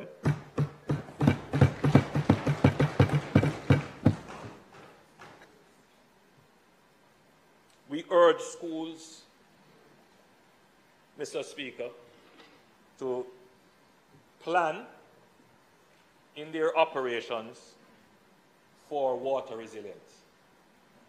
Let me say this, Mr. Speaker. In the era of climate change, Whenever you're doing your business plan, you have to think continuity of operations. What happens if there is a catastrophic break in normalcy? So, if you are a manager of any significant operation, any significant plant, you make provisions for security, you make provisions for human resource management, you make provisions for administration and accountability. If it is a school, you make definitely your provisions for teaching and learning. You make provisions for stakeholder integration and involvement. You must make plans for climate related issues. So when you're doing your national, your year plan, you must budget. And when you're doing your infrastructure plan, as to it's not only classrooms you need to build, we need to think about storage. So, what we have asked the Rural Water Supply Company to do is to partner with the Ministry of Education to assist our schools in developing their water resilience plans, which would also include how we develop infrastructure or how we can repurpose existing infrastructure to become water capture, storage, and distribution within our schools. Because the reality is, Mr. Speaker, that for the foreseeable future, we cannot rely on the normal operations and rely on predictable weather that we're going to have um, uninterrupted utility supply of water. So, in the foreseeable future, every agent, every department, every company, every ministry must have a plan as to how you will survive. And for our education system, uh, we need to start that planning. So we have asked the Rural Water Supply Company and the Ministry of Education to work together. And it is important that we start there because the new generation of Jamaicans, the new Jamaicans growing up, we need to have this mindset. You know, Mr. Speaker, when I was growing up, conservation was an important thing. And I'm sure most of us in this parliament, you were told, don't leave the, the shower running, turn the lights off.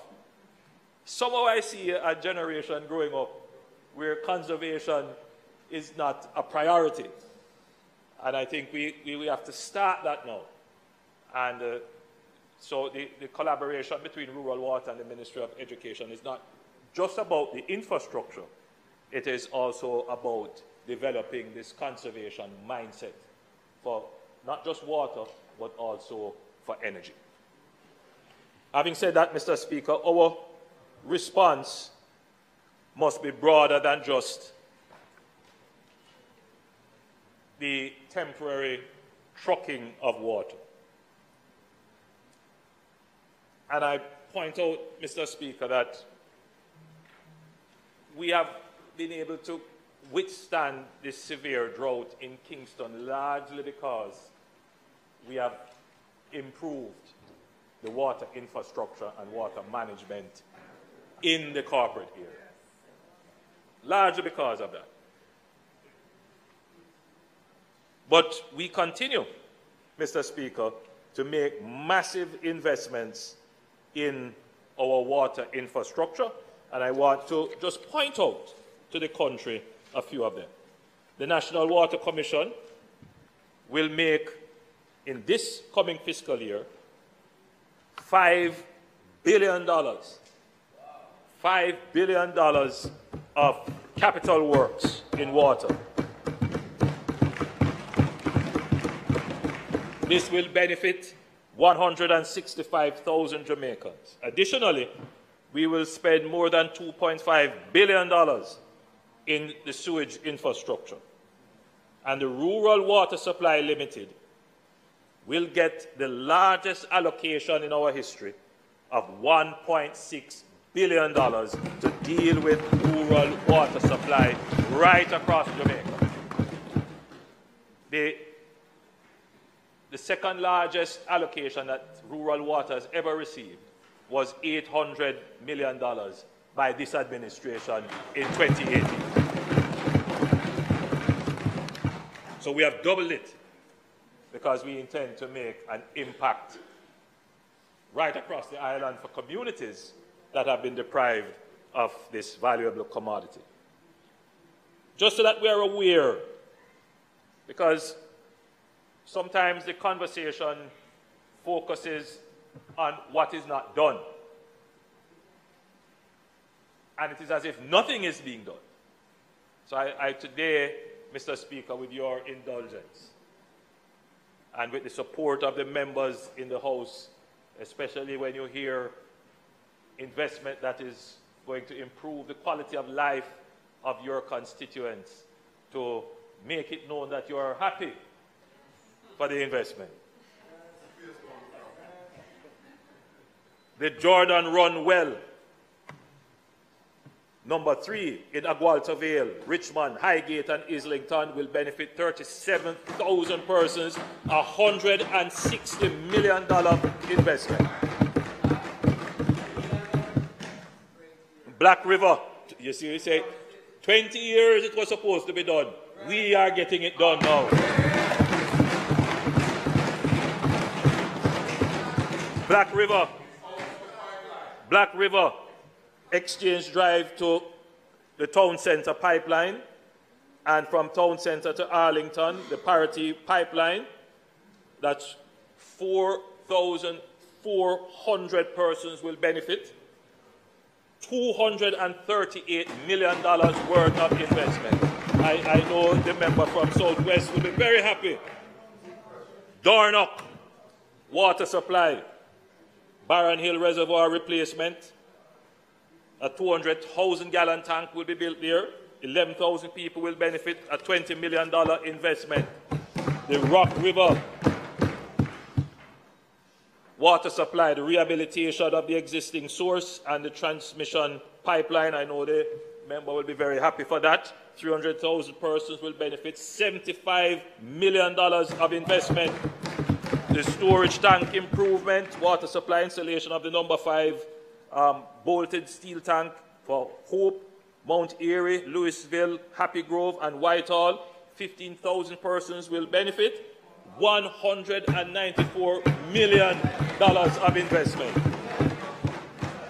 Jericho Well number one, Yoaton to York Street pipeline. 3,000 persons will benefit. $98 million of investment in Morant Bay, Springfield to Seaforth, the Morant Bay upgrading works, 2,200 persons, $3 million worth of investment. South Manchester, water supply, Grove Town, to Cross Keys mains replacement and upgrading, $210 million of investment. Wakefield Bunkers Hill main upgrade, $20 million dollars worth of investment. A thousand persons will benefit. Boguewell to Wilton Crossing in St. Elizabeth. We're going to do main replacements there. $290 million of investment. Christiana, the Spalding water supply, 5,000 people will benefit. $53 million of investment. Christiana, again, Moravia water treatment plant, 4,000 persons to benefit, $70 million of investment.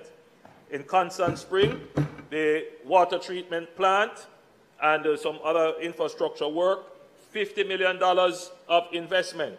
The Essex Hall Water Supply for St. Andrew, New Works, water treatment, $190 million of investment.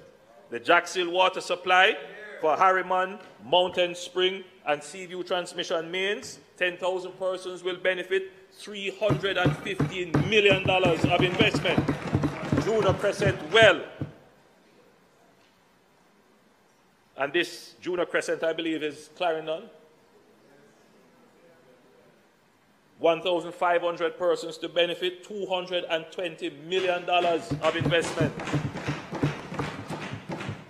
In Maggotty, it's the Maggotty to Newtown pipeline, 3,000 persons to benefit, $95 million of investment. The Mount Royal booster station that is in Portmore, $21 million of investment. The Rhyne Park water supply and upgrading, 6,000 persons to benefit, $145 million of investment. Rosemount, Camelot Discovery, that's a water supply upgrade, 3,500 persons to benefit, and that's $120 million of investment. The Santa Cruz water supply, $50 million of investment. The Whitehall to Newmarket water supply and relief station, 3,000 persons to benefit, $158 million of investment. I was, I was stopped, the, the member from Northwest St. Elizabeth. Uh, I got a message for you from one of your constituents who was pleading about that water supply.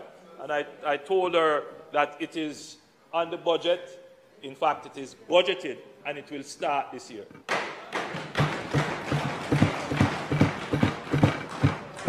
The Greater Mandeville Water Supply Program, that continues. $770 million will be spent this year. Again, Mandeville is, Manchester is one of the areas, though severely affected, but it has done better in this drought cycle than it has done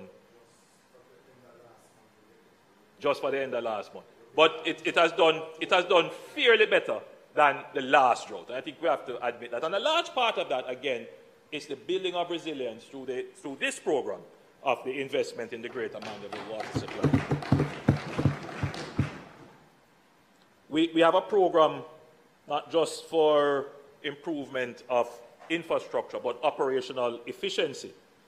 And uh, that program is an investment of $342 million. dollars. That is to improve pumps and power supplies and things like that. We have a transmission main upgrade from Ferry to Rock Pond in St. Andrew, $404 million. In Ferry to Rock Pond, again, a water supply and the installation of the mechanical and engineering works, pumping and so forth, that's $200 million for the KSA transmission main upgrade. Uh, that is Montgomery Corner to the National Hero Circle. That's a big project for us. It's $50 million. And then we have another transmission main program here in Hellshire, for the Hellshire Main Road, $50 million to change that transmission main. Uh, we have our transmission main upgrade from Roaring River to Runaway Bay, phase one. That's $100 million of investment. So it is clear, I hope, now to the entire Jamaica that the problem of water is a significant one. We don't in any way try to dismiss the concerns raised by our citizens about the lack of water. But that is not the complete story. The complete story is that this government is making consistently the greatest level of investment in replacing and creating new water infrastructure. I don't know if members took note, Mr. Speaker, when I was listing the projects that a number of the projects were for the replacement of water mains. There is a view in our citizenry that when we lay down water infrastructure, it will last forever. That's not the case. Everything has, and especially things that we build, a useful life an engineered life.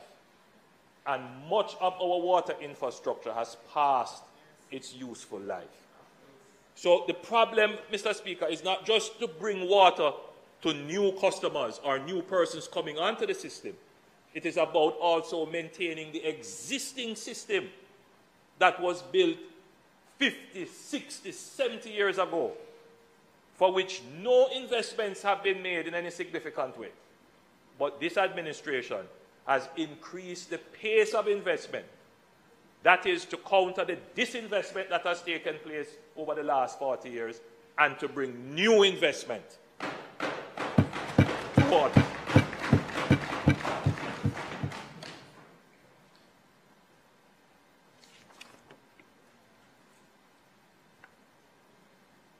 Last year, amid Jamaica's worst drought, the corporate area was undersupplied in potable water by just under 12 billion gallons daily.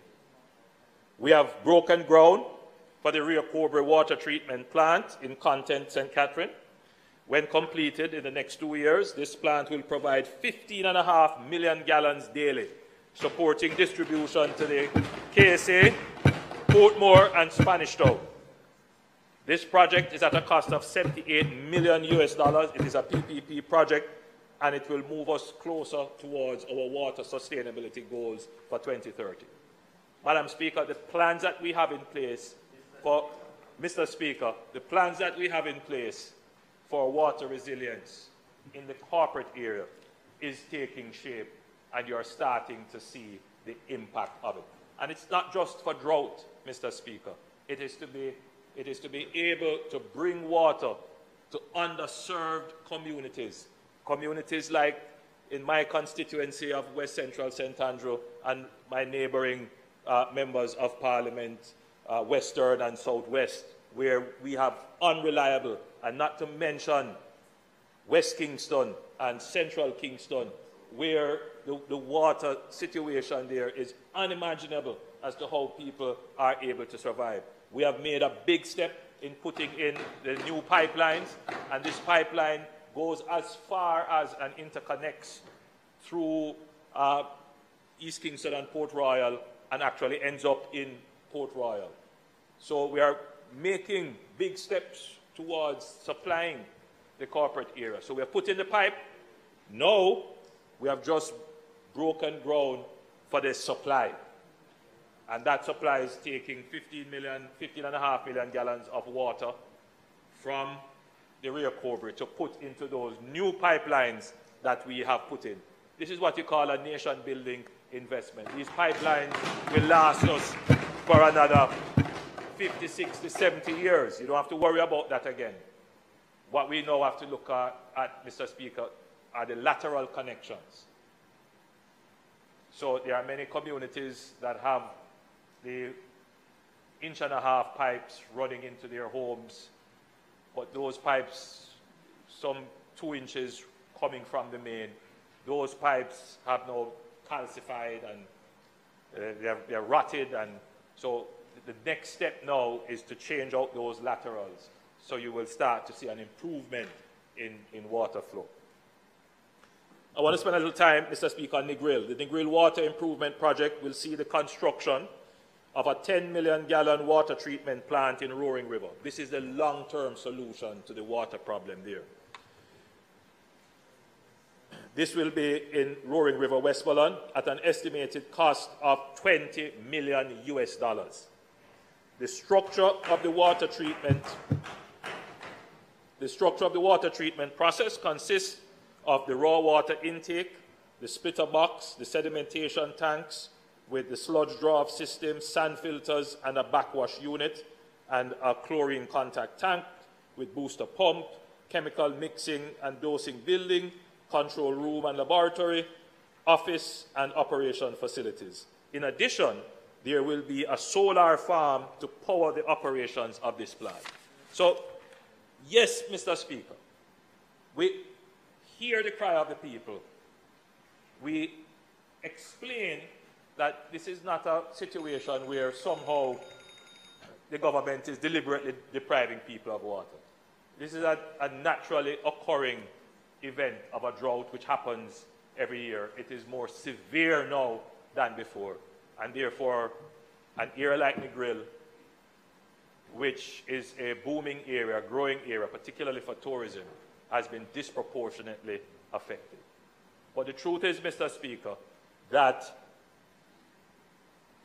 the drought aside, Negril was not in a position where it could say that it is resilient in relation to water because it just didn't have the water supply and the distribution infrastructure. What I've just read out here, Mr. Speaker, is going to have a similar impact as the content water project which we have broken ground for.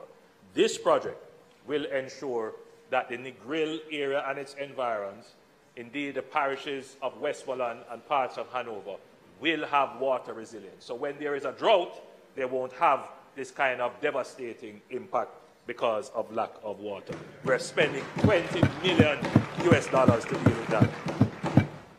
The overall effectiveness of the intervention at the Roaring River to improve service levels uh, in the extreme western section of the island, particularly in Negril, must be complemented by improvement activities to those systems adjacent to the focal target area. This will ensure the sustainability of the intervention as well as in the medium to long term adequacy of supply to current and future demands. In light of this, the activities to be undertaken as part of this project are contiguous for an effective and long-lasting intervention. I want to assure Jamaicans that we are far advanced in developing other critical national projects. These projects include, but not limited to, the replacement of critical supply mains in western Jamaica, including the mains from Martha Brae into St. James and the Negril supply lines at a cost of 70 million US dollars. This project is expected to commence later this year and will take 24 months. I don't see a lot about this project, Mr. Speaker. It's part of our Northwest Regional Project, but the pipelines that I have just mentioned, you would describe them as critical national infrastructure. If those pipelines break, almost the entire Montego Bay would be without water, including our hotel industry. It's a single pipeline. The pipelines are very old. Some of them are showing signs of collapse. In fact, they have collapsed. Some of them have collapsed, and we have had to rehabilitate them. This investment of 70 million US dollars will upgrade and replace in sections some of those mains. But it will give us a resiliency in water for St. James, particularly Montego Bay, and parts of Trelawny, parts of Hanover, uh, parts of Westmoreland that we now don't have. So, so I want members to appreciate that yes, we have the challenges with the drought. but the government is taking the long-term decisions to put in the infrastructure to build our resilience in water. 70 million US dollars to improve and replace those pipelines. Mr. Speaker, the redevelopment of the Hermitage Dam. The Hermitage Dam is 95 years old and was built with a guaranteed useful life of 50 years. So we are on borrowed time with the Hermitage Dam. I won't say too much about it. The NWC continues to conduct uh, its engineering exercise to ensure that the dam uh, is structurally sound. Uh, we have seen some signs where there have been some compromise which we, we are concerned about. For example, we are seeing tree roots getting into the base. And that will happen after 95 years. You know, all of that will happen. After 95 years, the dam has really served us well. And it, it is now time to make a massive investment in expanding and improving the dam. So as such, we are in the project design phase for the replacement of the dam wall and the increase in the capacity of the dam. So it is likely that we will build a new dam wall further down, probably a little higher, and that will increase the capacity behind that new dam wall. So we will increase the capacity coming into Kingston and St. Andrew. So that's the, that, so we are on our way to making that massive investment to further guarantee our water resilience. The completion of the project assessment phase for the development of the Mahogany Vale system, which includes the repair of the Yallahs pipeline and the expansion of the Mona Reservoir and land use studies. Mr. Speaker, you will recall that I had announced this two budgets ago. Plans are moving apace to have the Mahogany Vale project executed, and the, the pipeline, Mr. Speaker, the Yallahs pipeline, again, you call that critical national infrastructure. That is what brings in the bulk of water into the Mona Reservoir, which serves Kingston and St. Andrew.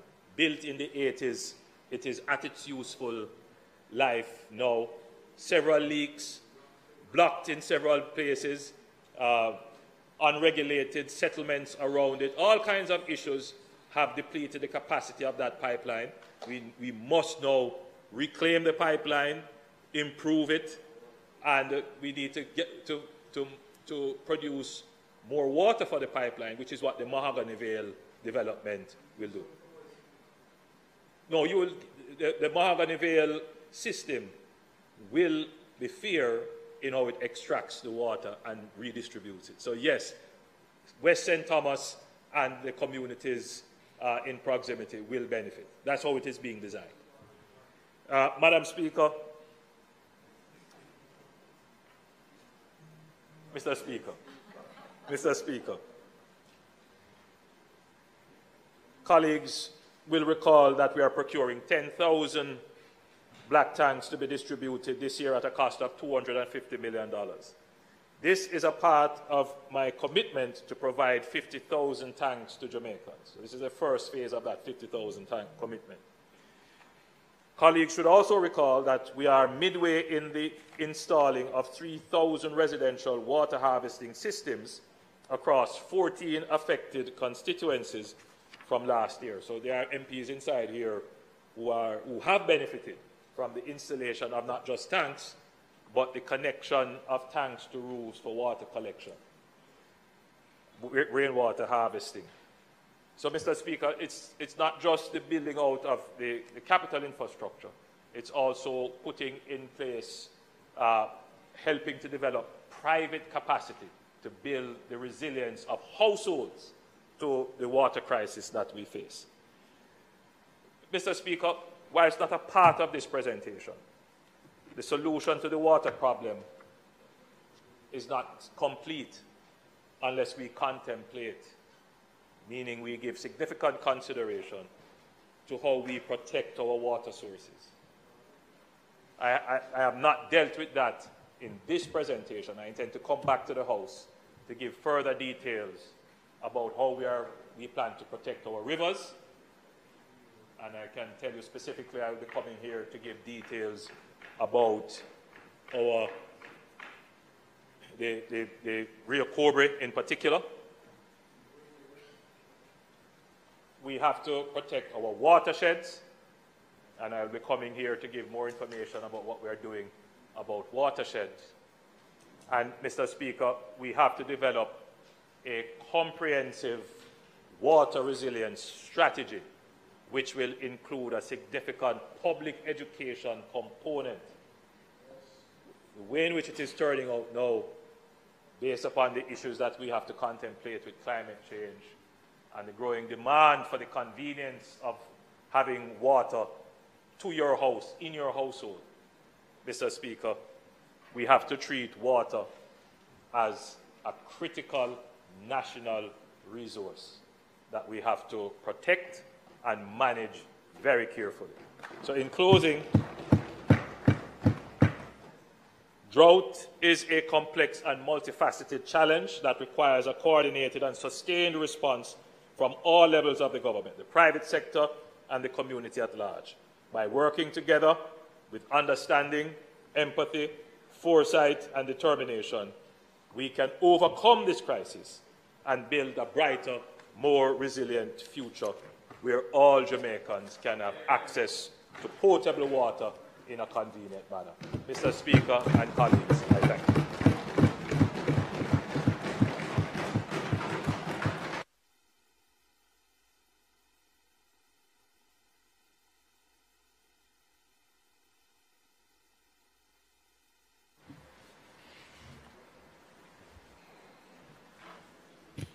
Mr. Speaker, thank you. Um. Speaker, let me say that the response is timely. Um, because there have been a lot of us, especially in the rural parts of Jamaica, where our constituents have been seeing drought conditions from last year. I can speak of Manchester itself, where from October last year, we have been not having regular rainfalls, if not none at all. But while we have been seeing the unpredictability of our weather pattern, as the Prime Minister had shown us the expected rainfalls within the period of when we should expect high rainfall which is within that uh, April, May, and June.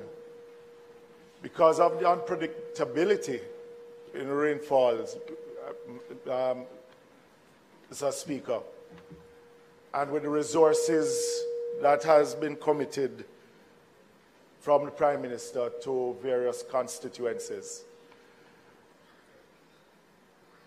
We're still not certain if we're going to see that level of rainfall and those we're still not certain because we have seen in the past in the summer months we have been getting high level of rain. And those areas where we should be getting more rain we haven't seen any rain at all. Which is why i've mentioned the unpredictability of, our, of, our, of the weather pattern.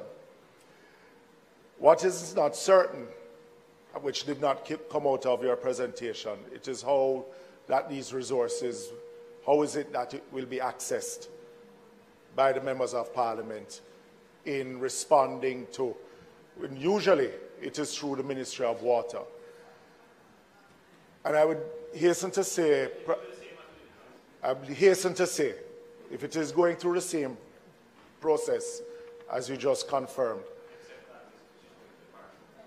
yes, those that are going to the members of parliament, is that because in some instances, some of these truckers, the demand from the municipal councils, the NWC, the members of parliament, and how the funds flow, a lot of them wait until the resources are available before. And the demand from the members of parliament of when, the, the, the, because in the instance of Manchester, where we are getting $1.5 million per constituency, coming out of your presentation, that amount of resources can be spent in less than two weeks. In less than two weeks, because of the distance in some instances of where the water needs to be delivered. That's a more efficient way in how the, the, the, the disbursement of the resources can be done. If it is that we have to add more staff, if it is that we, but there has to be a more efficient way so that the, those who are contracted to do the distribution can be, can be done more efficiently on a, on a more um, on-time basis. Prime Minister, the schools, especially in rural, deep rural, and priority has to be given not only to our primary and high schools, but our early childhood institutions. The matter is not that in some instances, I can tell you because I've been getting calls from my own schools, is that they have already exhausted what they have budgeted, and this is the start of this month already, for the delivery of water. I see that you mentioned that a program will be put in place for schools, but that it be be, be relooked at because, especially for early childhood institutions, because we are seeing more and more demand out there as members of parliament, and I'm sure the councillors also, for the delivery of water for our schools um, right across the island. In many instances, Prime Minister, you speak about the, the, the $5 billion worth of, of projects that you have announced. Some of these projects are ongoing projects from previous financial years. So, so, so it would be good to get a, a, a, an amount of what are new projects starting in this financial year. Because many a times we, we put figures out there when there are some projects that are rolling over, just like the Mandeville Greater Water Supply Program, project. But as you mentioned that project, Prime Minister, there's one phase of that project that should have started from July of last year. And I mentioned it um, earlier this year in the House. A second contractor has been contracted for that phase.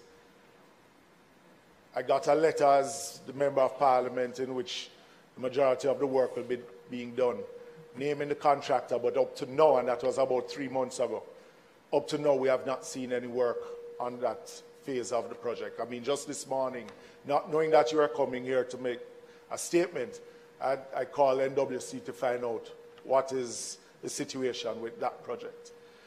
In your statement, you yourself had, have acknowledged that many of the projects that you have announced here for the NWC are rehabilitation projects, replacement. And as a member of parliament of a constituency where less than 40% of the constituency see potable water, it would be good if we, if, if we see a program in the near future speaking about communities that have no pipes running in those areas and how it is that we can get water too. Because those, while we improve the water supply to those who already have, the black tank program and the delivery of water is only a temporary fix for many Jamaicans. You're doing 40,000 water tanks, and I'm sure there are, there are more than 40,000 Jamaicans out there that have no access to water. So when we have a drought now, there's the, the, the possibility of them having to, to traverse distance to get water is one that is challenging. And the cost of trucking water, especially in deep rural communities, I know that some of the members of parliament over there. House Leader.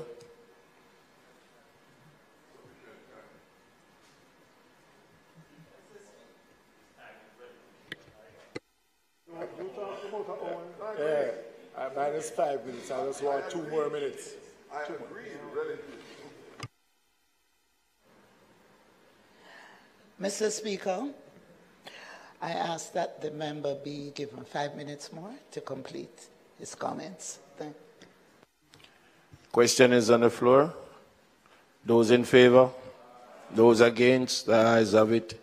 Members, you, member, you may continue, sorry. Yes, thank you very much, um, Mr. Speaker and House Leader.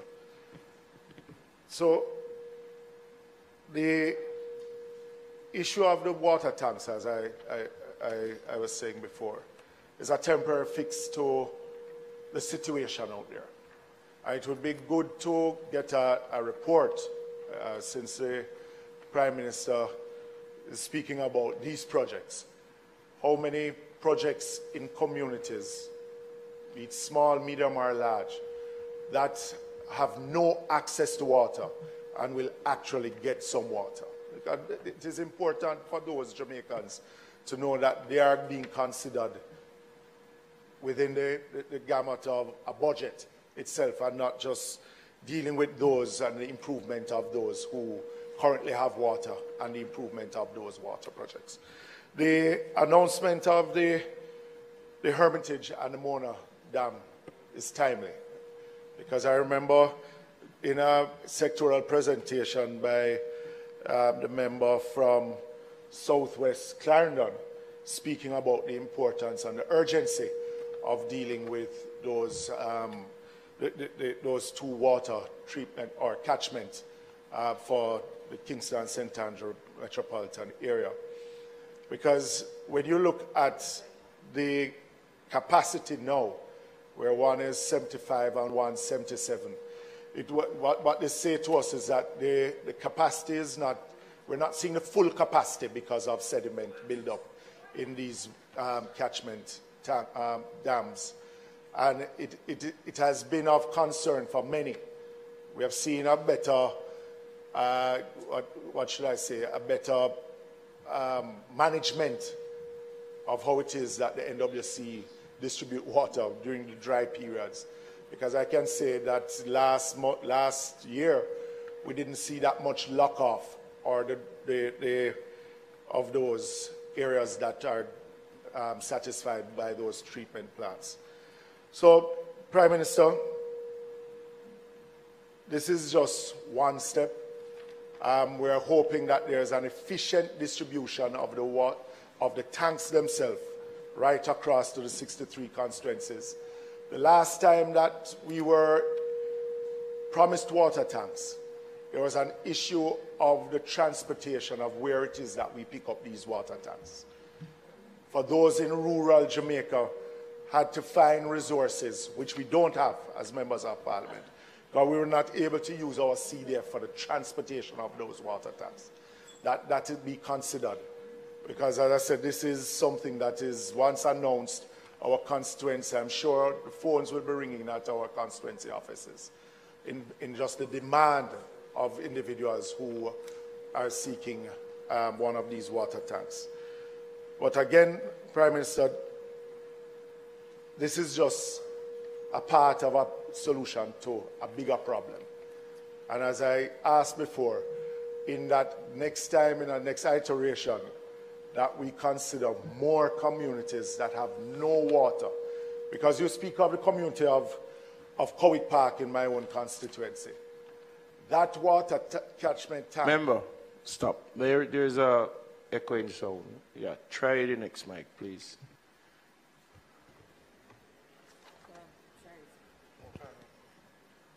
Can you hear me? Yes? That catchment tank, Prime Minister, has been on the books for replacement, I would say, for the last eight years. It is leaking like a sieve. Hence why there is no, that is the Cowick Park catchment tank. It is leaking like a sieve, and, and we have been um, advocating with the National Water Commission in when, because it was on a list for replacement and has not been replaced. So there, there are issues out there, low-hanging fruits.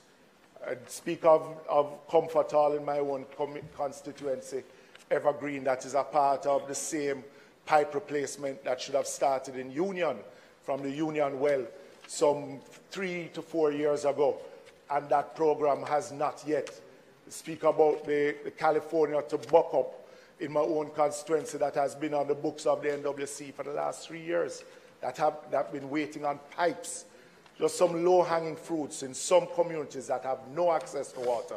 And I'm sure that those residents want to hear from us when and how it is that we will be able to give them some water in their communities.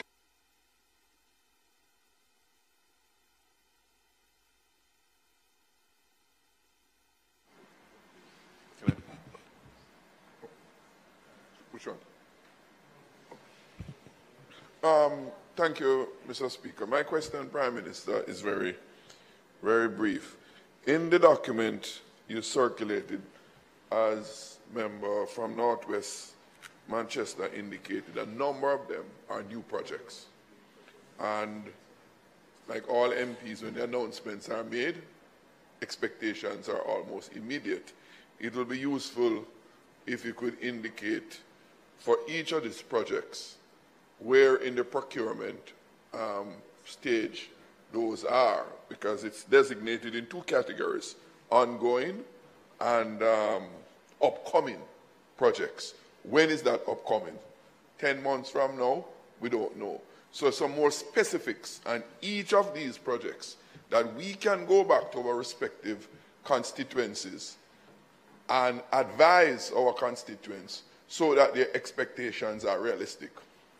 Because when you're in drought and in problem, people are expecting immediate resolution. And secondly, Prime Minister, members on both sides, probably more so on your side, because it's greater in number, complain about the whole procurement process. And therefore, on all of us mind, what, if any, different procurement arrangements are in place for these? Because the projects that are, as I said, most of the ones you announce are upcoming projects, and it says procurement in progress. That's very vague. Where in the pro procurement process? One, two, what is the projected period of completion of, of the procurement after which commencement of the projects will be? Um, if you could help us with that, it would bring more meaning to all that you have announced. The numbers sound impressive, but if it's not going to come to fruition in a reasonable time, it means nothing.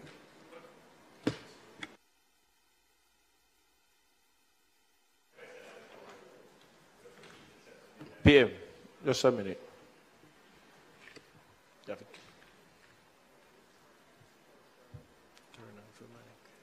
Yeah, um, I beg the indulgence of members who, who have questions. I, I, just wanted to, to answer the procurement on just quickly. Uh, remember, the, the projects that we have announced, which would answer both questions from Northwest and yourself, um, are all projects that are past the tender phase, meaning the, the advertising. So, so, they're in procurement. It's very difficult for us to say this is when it will end. Because remember, once you're in procurement, somebody could object. Um, somebody could have some issues which throws the procurement way, way out. So it's very difficult for me to say this is when it will end. What we have said is that these are projects that should start this year, meaning this um, calendar year. So that's, that's the, the, the idea. So, right, so, so the member is asking me about new projects. Now, so just to, to, to say to you that the most I could say is that they should start this year, because once you're in procurement, it's very difficult for us to estimate when they're going to be completed. But I can, I can, however, get a more detailed spreadsheet that would say they have passed, for example, the assessment phase, they have been scored and assessed, or the contract has been awarded, or I, I could get that and bring it to Parliament. Right. The other issue now of projects that are already in train, when we're talking about capital works, they are multi-period budget allocations. And what we have presented here is the allocation for the portion of the capital works for this year. So the, the, the Greater Mandeville Water Supply Project is a multi-billion dollar, multi-year program. What we have presented here is $700 million for this year. So this, out of that. So this is the, the, what we are presenting is what will happen this fiscal year, meaning from uh, 1st of April to the 31st of March next year. That's what we have presented. Oh, and your question about the, the black tanks. Right, so the, the black tanks are in the procurement process now. We, there are some challenges with the black tanks. The first thing is the country doesn't have, doesn't have the capacity to produce the demand. What has happened is this. All the housing developers are now forward planning and purchasing black tanks to put on the houses that they have developed. So that has really eaten into the capacity for just regular purchase, retail purchase of black tanks. What we have done in putting a demand for 10,000 more is to really stretch the existing capacity. And, you know, if you consider it, to import black tanks will be quite expensive because you're basically importing air. So it's better that the investors, I'm using this platform to say to investors that this, the people who produce black tanks and who have an investment in the pro production of these kinds of tanks, that they really should increase their capacity because the government will be making a consistent, at least 10 year investment in water tanks. Just to be clear, remember, you said that water tanks are a short term response. I, I wanted to consider it differently. The black tanks are part of the long term resilience building of households for dealing with the water challenges. So it's not, it's not a temporary, it's, it's, it's, a, it's really long term. And so for those people who are in the business of producing black tanks, I would encourage them to increase their production capacity.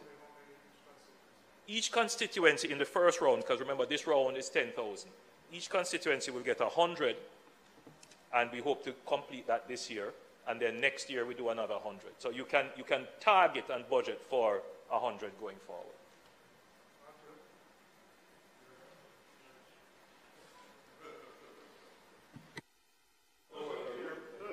on top of the ones we promised.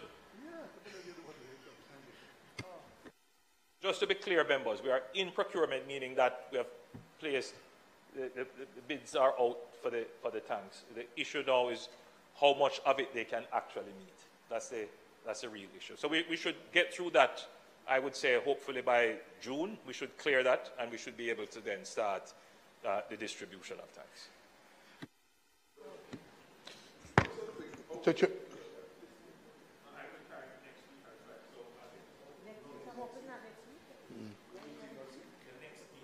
Uh, uh, uh. Um, Chair, thank you, Mr. Speaker. Um, Prime, um, Prime, Minister, Prime Minister, first of all, I think the, the presentation was timely. That water is a national priority is, is clear and, and, and urgent. What I'd, I'd make two comments. I'd comment on two aspects of what you had to say.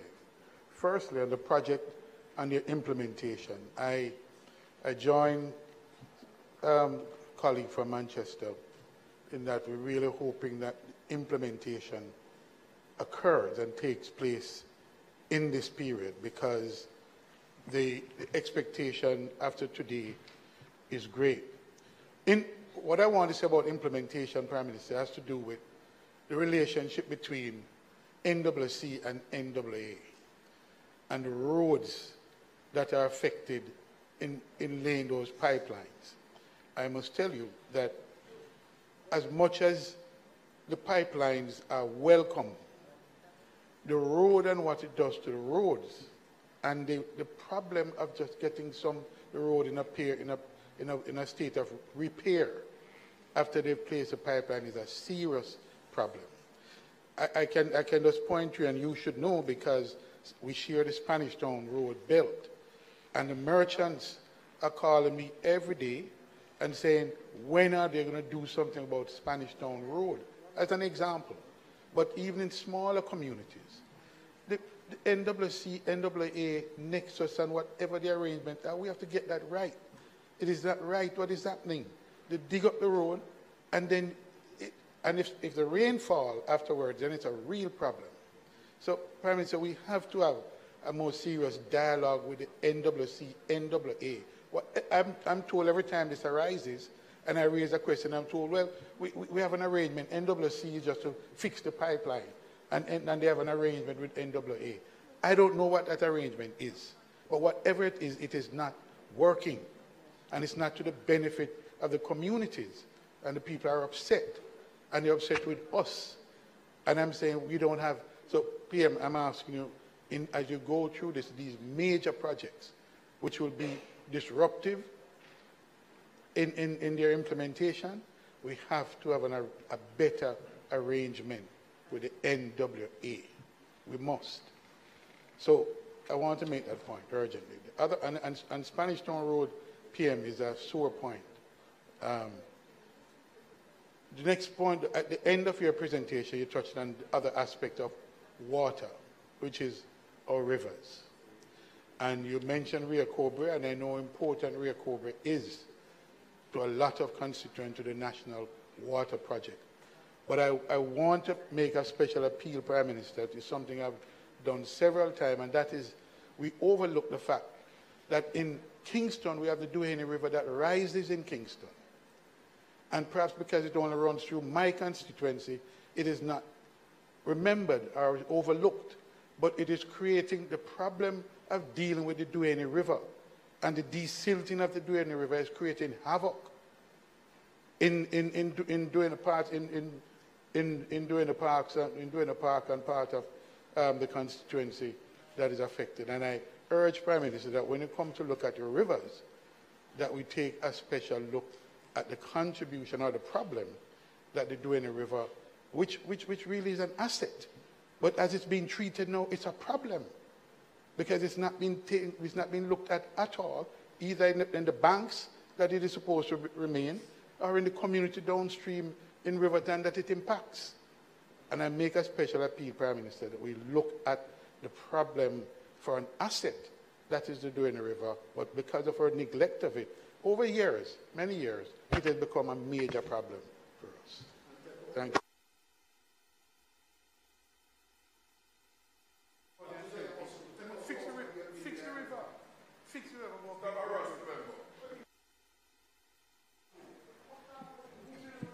Thank you very much. Uh,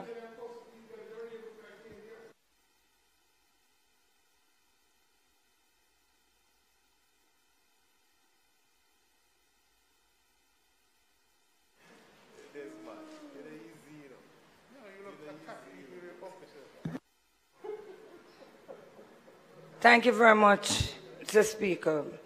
Prime Minister, I just want to it's really, I want to ask a question, but I will really want to find out in terms of NWA. Do we understand the amount of water that we are losing in this country from broken mains all over the country without any kind of regard, any repairs being done? If we fix these broken mains, I can assure you that some of our water problems would be solved. And it is something that you need to look at quite seriously, um, Prime Minister. In respect to the other 50, that is a question I really wanted to ask. Um, the 50 constituencies, how would they know in terms of who is eligible for this program?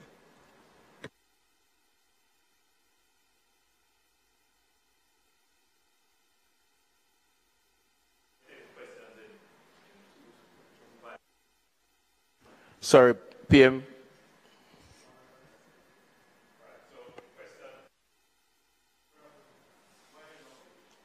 Thank, thank you. Thank you, uh, Mr. Speaker. The question raised by the member from Western St. Andrew regarding the coordination of the NWC and the NWA. Uh, this continues to be a real challenge, uh, clearly for the residents who are discomforted by the uncoordinated digging up of the roads to repair pipes, but it, it poses also an administrative nightmare for the, the ministers who have to treat with it because the two agencies have two separate mandates. One has to repair mains as they are brought to their attention, uh, and they, they can't wait until there is a budget for repair. Communities will be without water. Uh, or they could lose quite a bit of water if they don't act. And the NWC, the NWA, when I raise a matter with them, uh, they, they have a budgetary challenge. So they are not able to respond to every single incident of a roadway being disturbed. Now, having said that, the NWC has an obligation to notify the NWA when they are going to disturb a roadway, and depending on the nature of the disruption, they, they, they must repair it. So we have seen situations where they have just dug up the road, uh, put back the, the, the marl, roll it, and, and left it as is. That should not be the case. Small areas that they have disturbed, uh, they should contract to have it patched. Secondly, what we have, we have made progress, and I want to, to share this with the Parliament.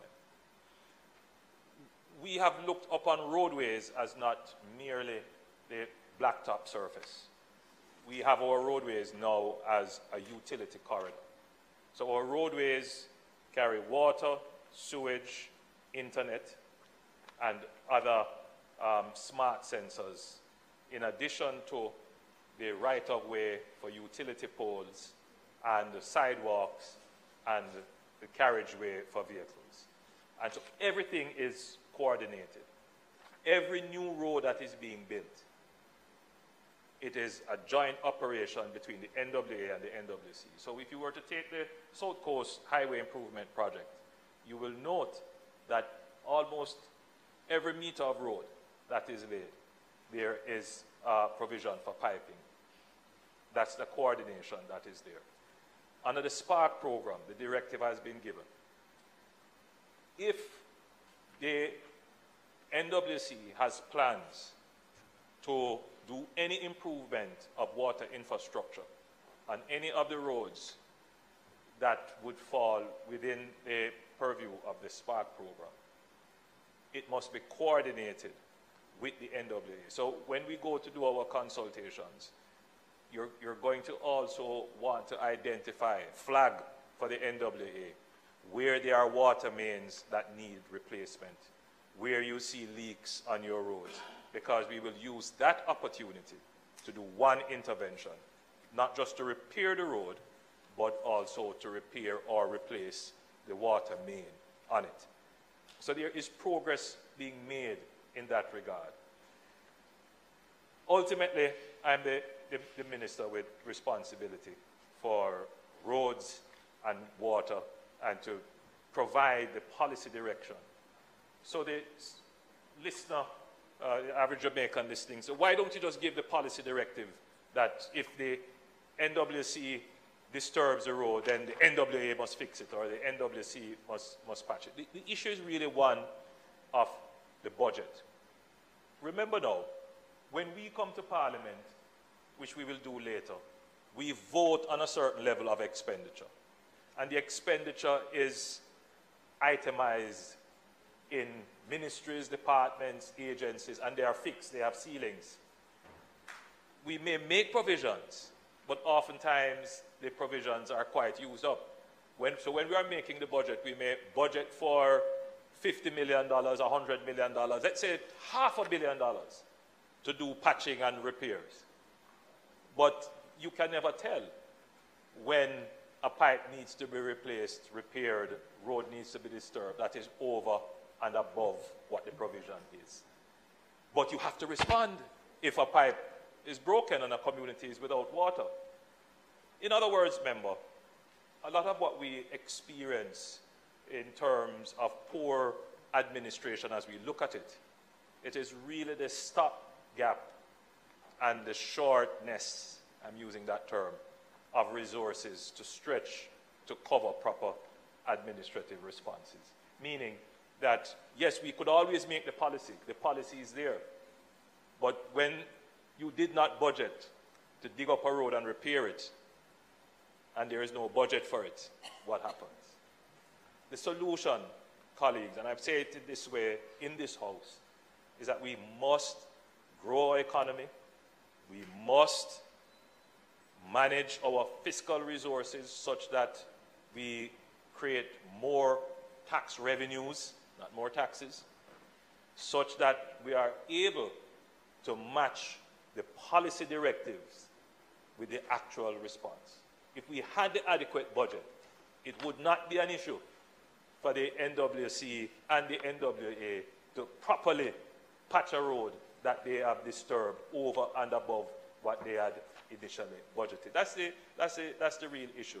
We have taken now, based upon the budget that we have put in place under Spark, $20 billion to ensure that the two agencies don't work at cross purposes. The NWA and the NWC, given the budget, work in concert to ensure that once we are going to disturb a road, if the pipe needs to be replaced, that will be done. So it's one activity that will lead to, in, in my opinion, the, the, greater convenience for the, you, we, have, have started those discussions. Uh, in relation to the Duhaney River, I must confess, member, uh, the, du, the, Rain, the River is not one of those rivers that I have paid a lot of attention to. It has come up, however, when we were looking at the eventual demobilization of the, the Riverton City Dome. It is one of the rivers that has been affected badly by pollution in that area. I will give it further consideration from an environmental perspective and what can be done to protect it. Um, in addition to these things, the, the other question was, member, how will you be notified? By the usual route, a letter will come under my signature. a letter will come under my signature to those who have been given the, the it usually comes by the Friday after my, after my presentation on the Tuesday. Uh, and then for those who were not given the allocation, we will send a note to you to say, we have made a provision. We, remember, we have left that $5 million. If there is an emergency in your constituency. So, for example, there's a school that for some reason doesn't have water, or there's a community for some reason, then from that $5 million provision over the next four weeks, we can respond. One question. Oh. Member, sorry. Member from Central Westmoreland was before you.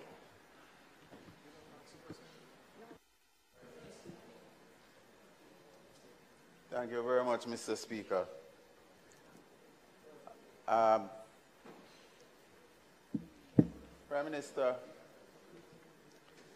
there are several communities in Westmoreland Central that are without potable water.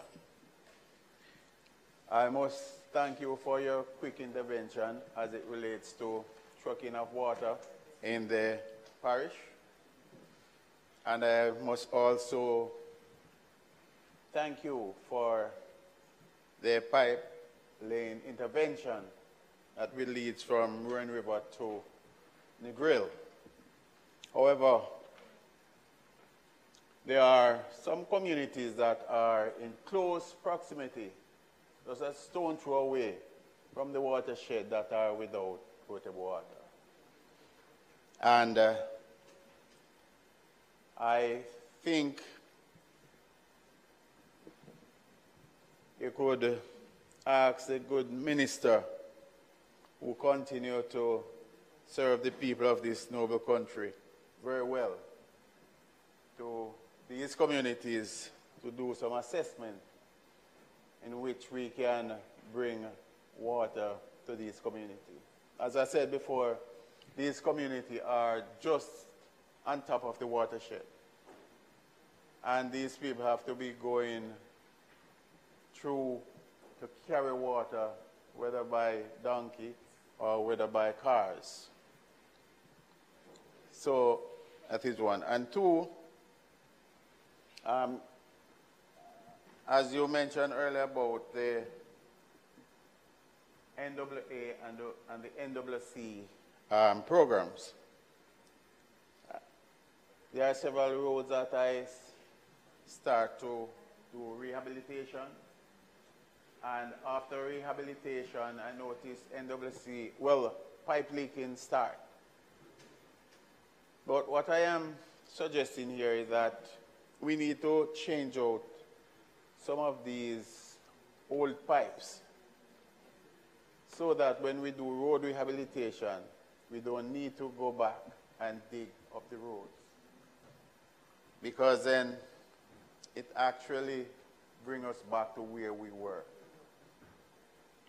And, um, and so I'm just asking for your intervention where this is concerned. Thank you.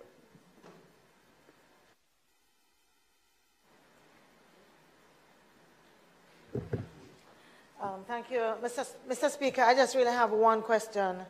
As one of those firmly in the 13 constituencies um, that you spoke about, um, I don't think I could go back to the constituency and leave here without talking about water.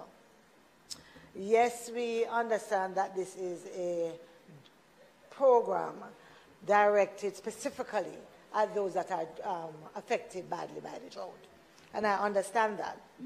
But the situation of some of the other constituents, other Jamaicans, which may be less affected by the drought, still requires trucking of water as a solution that we are seeing now.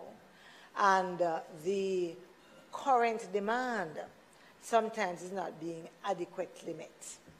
And so I was wondering whether or not you did not think it appropriate to see how the trucking of water to these constituencies that has been um, an issue to date could also be alleviated um, through this program or something similar.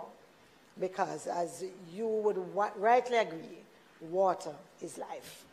Yeah? So I'm speaking on behalf of the lives of those members along that strip, and some of them might very well be in your constituency too. Yes, but I mean, I, I thought I would ask the question because I am concerned that we are not being adequately served consistently in terms of the trucking of water for the problems that exist in that area. Prime Minister, you mentioned in your response, Spark, when you had come to Parliament in February, you said the consultations would be held by the end of March, which I'd indicated wasn't realistic. But we haven't had any communication from your office or anywhere else to state exactly how the consultations are to be held. And the expectation out there from constituencies, we are, we are joke, we are hold up this thing. So when will we get something that will say this is the basis for the consultation and what the criteria for the consultation is? Because frankly, I don't want to go to a consultation where everybody going to say, me want my road fixed because that's what everybody who comes to a consultation is going to say. So I would like you to give us a time frame as to when we are going to be equipped to hold the consultations and then how we go forward from there.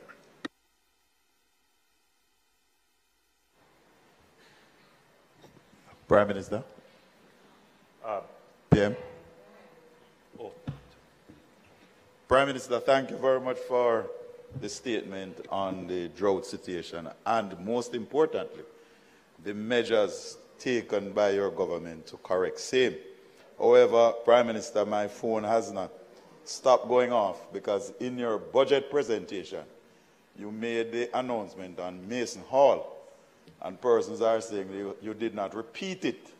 So they are wondering if you had removed the funding to treat with this emergency. And although I am telling them you would do no such thing. The, the people who are dependent upon the greater Mason supply that would take Tower Isle, Rio Nuevo, Huddersfield, Mango Valley, Oracabessa into consideration Days Mountain and Mason Hall, as well as you had listed out a number of springs in your presentation and to treat with the Guysdale, Heartlands, Jeffreytown, and I know MP Carencia uh, is having the same challenge. So the people are watching and they are wondering if by not announcing them again, if they were taken off the list. So they need a little reassurance from their Prime Minister. Let me say,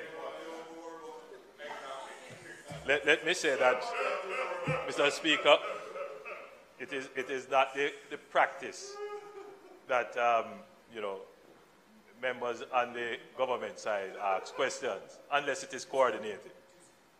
But it is, it is good. It is good. But, but I tell you what, uh, member from St. Mary, um, Western, it is good that you asked the question because I neglected to say that these were not all the projects that we were doing.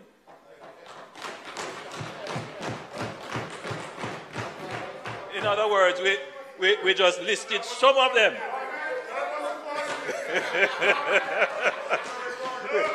we, we, we just listed some of them because, yes, member from Western St. Mary, the, the, the Mason Hall project is still on track and will start early. It, well, it is on way to begin, as, as you know.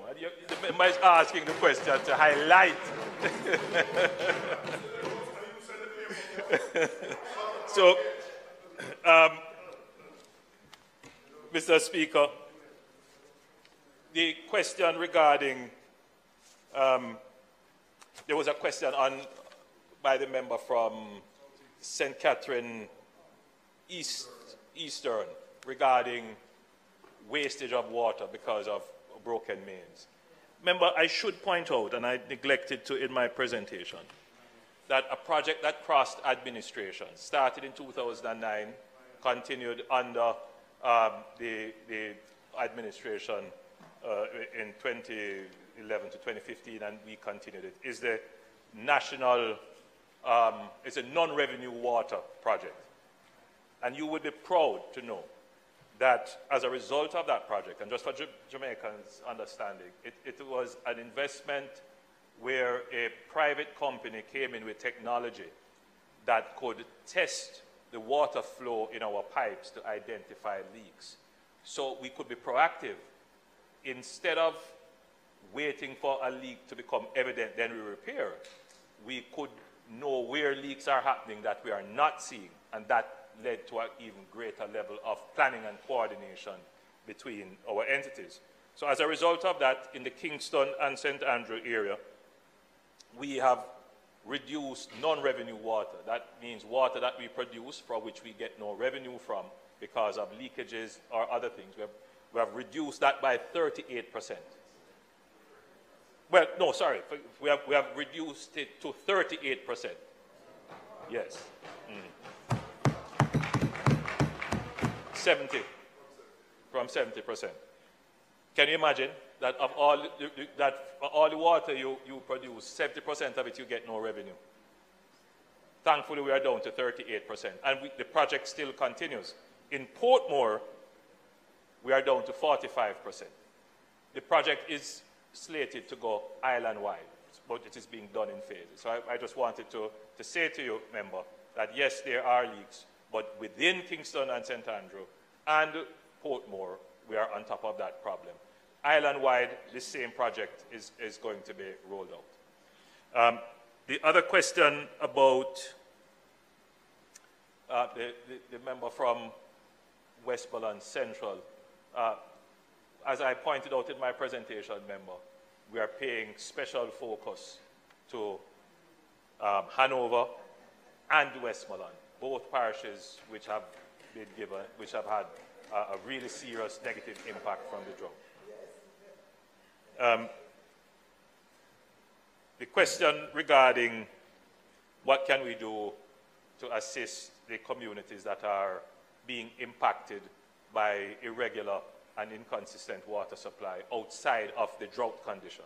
Uh, remember, we have reserved the five million. I'm going, your, your, your plea makes sense because I know my constituents are going to be calling to say all, that's all you leave. So we will look at increasing that, that amount, member. And it is from that amount that we will do the, the special interventions that are required.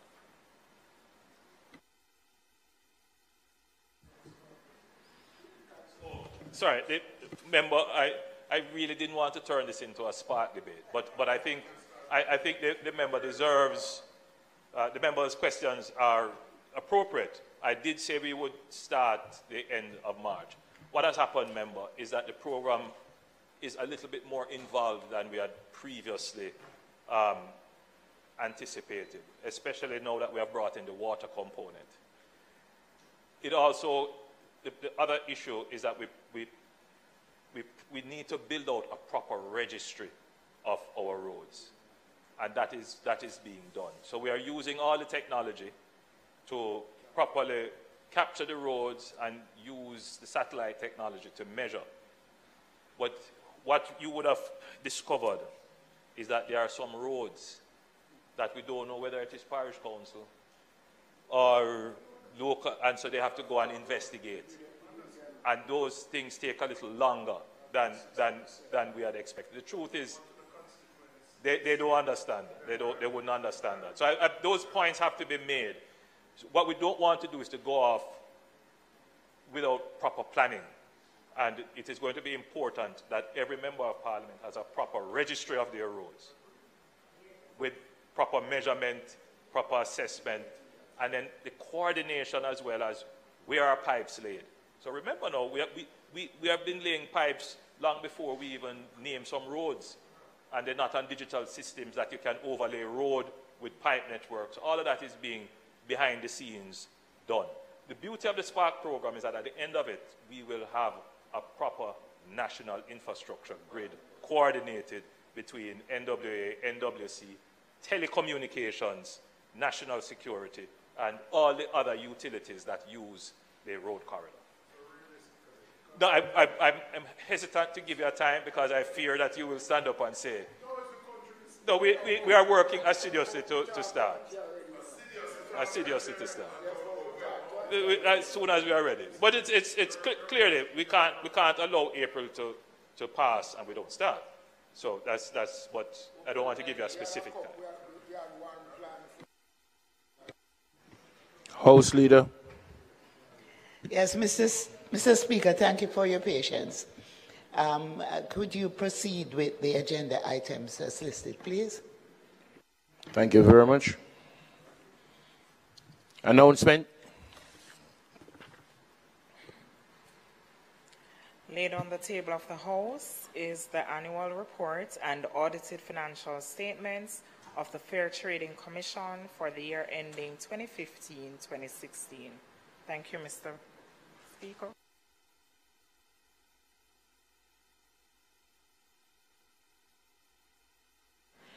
On the item of announcement, I note that there are some changes and I take it that you are going to. Okay, thank you. Thank you very much. I, you were preempting a situation, member. It is now time that we will now say that we have seen or we're seeing a different face in the chair of the clerk of the house. And so at this time we will congratulate the movement of Miss Colleen Lowe to the position of clerk of the house.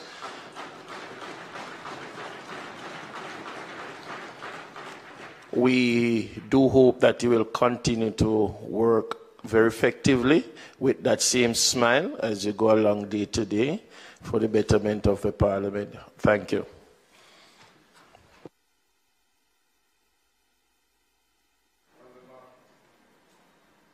And the matter for which you just made mention of the commencement of Ms. Lowe as our new clerk to the House.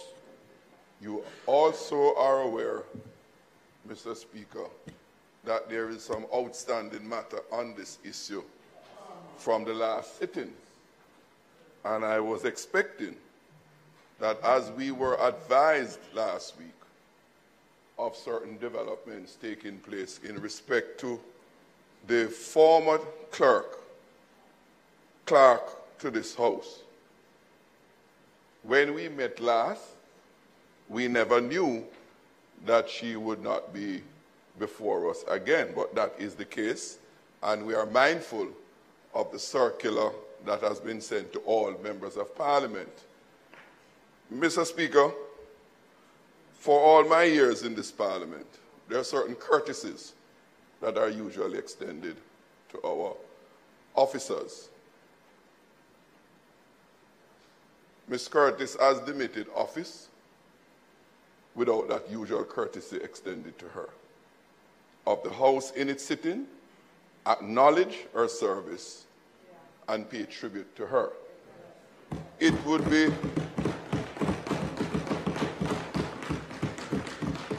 it would be remiss of us to continue the sitting today at the end of that tenure as if it's business as usual.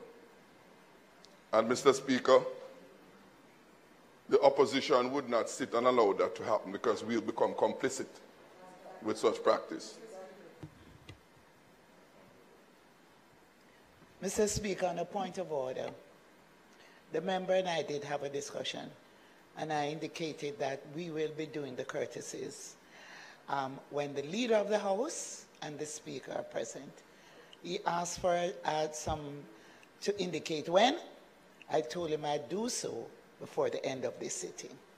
And that's the understanding we have.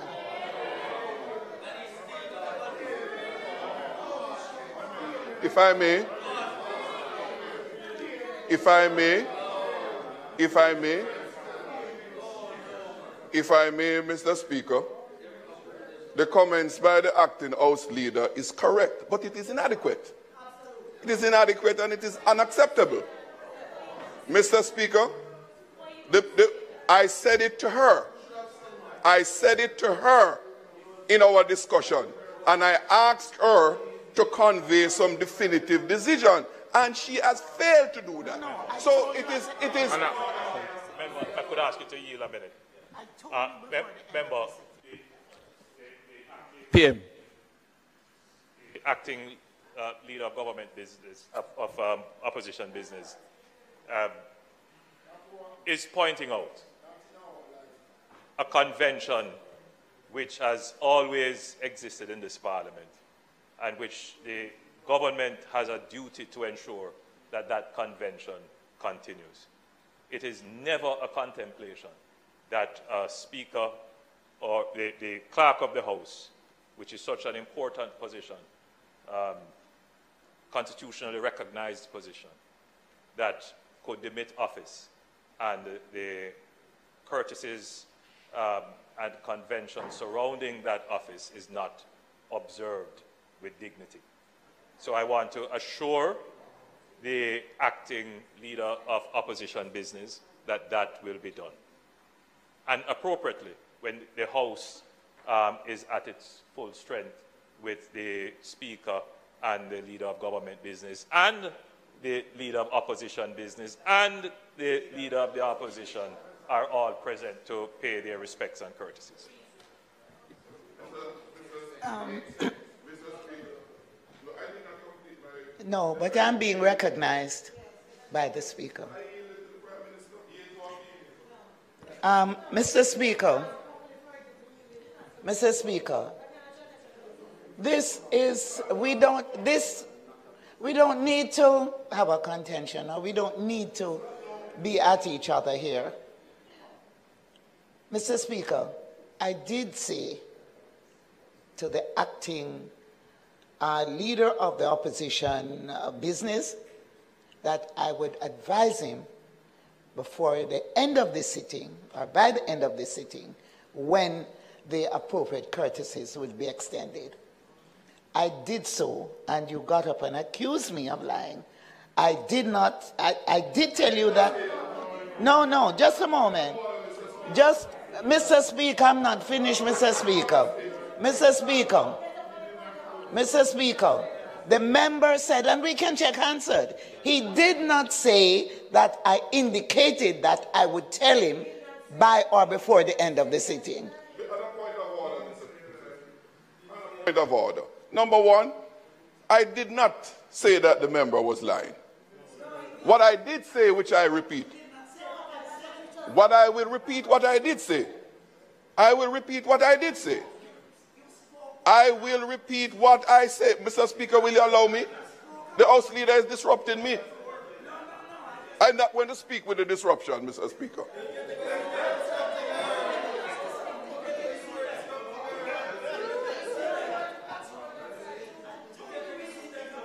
Mr. Speaker, member, Your mic is on. No other mic is on. Please. Her voice is overbearing. Mr. Speaker, Mr. Speaker, I will repeat what I said. And for the records, the member did indicate to me at the beginning, and I told her that it's unacceptable to start the proceedings without that being addressed. I rose because we were proceeding without what the Prime Minister, and I'm grateful that the Prime Minister made the intervention to say what he said. I asked, I told the member that it would be improper to commence. She mentioned about at the at the at the at the um more at the at the at the at, at the adjournment motion. That is at the end of the sitting. And my point is that we cannot comment, we could ought not to have commenced the sitting and the business of the House without addressing that matter. And that is the crux of my contention. And to say otherwise, to say otherwise would be misrepresenting what I said. Well, Mr. Speaker, Mr. Speaker, and I respect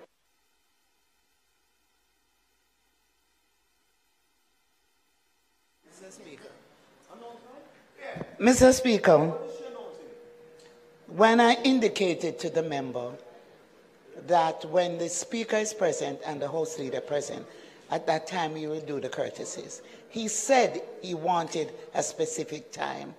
I indicated to him that I would advise him of a specific time before the end of the sitting. He did not insist that we must do it at the opening. He accepted that. And that is why the understanding we had was that I would advise him before the end of the sitting when we would extend it. That's the understanding. That was the understanding. Anyway, Mr. Speaker, Mr. Speaker, um, I ask if you would continue with the agenda items as listed. Thank you. Sorry, sorry, sorry. Member, member, at this time, at this time, we will close this because we have had both at this at, at this at, at at this time at this at this time member both at at what point of order are you raising madam? It, no, no, no, no. Both, both, both leader of government business and leader of opposition business made a claim, and the Prime Minister spoke as to how it is going to get done. And so we will close that for now. We are going to close that for now and move to the next agenda item. She, she is rising on a point of order for what? There is nothing on the floor. No. And I am ruling, I am ruling, I am ruling that we leave that on the floor.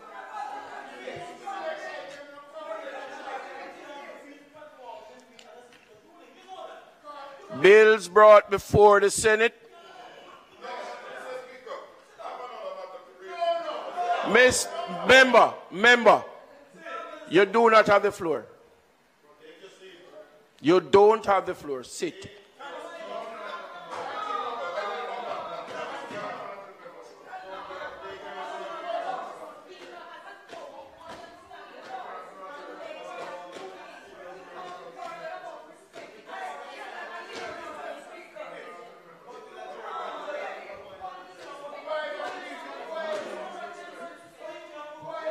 Members if I I will I will use a standing order if I have to. Please. No. No. My member member, you do not have the floor. With a, member we are we are at bills brought from the Senate.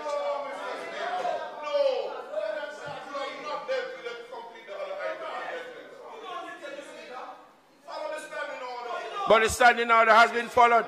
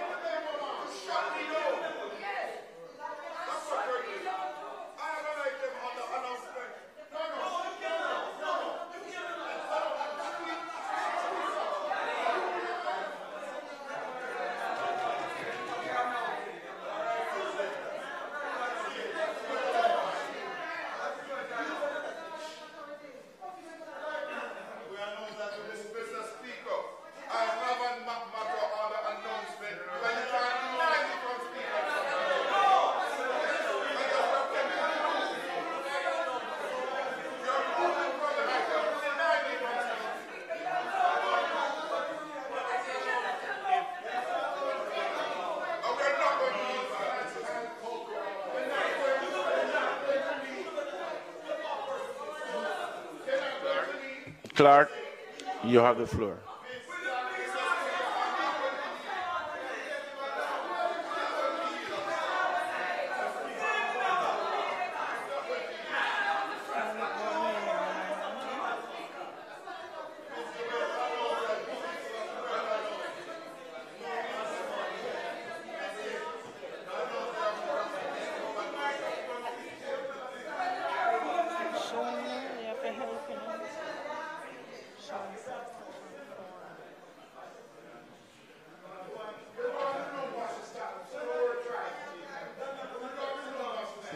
Members, Madam Clerk, please.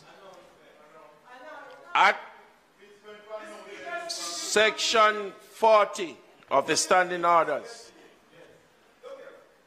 section 43, subsection 4, if a member shows disregard for the authority of the chair or abuses the rule of the House by persistently and willfully obstructing the business of the House or otherwise, the Speaker shall direct the attention of the House to the incident, mentioning by name the member concerned.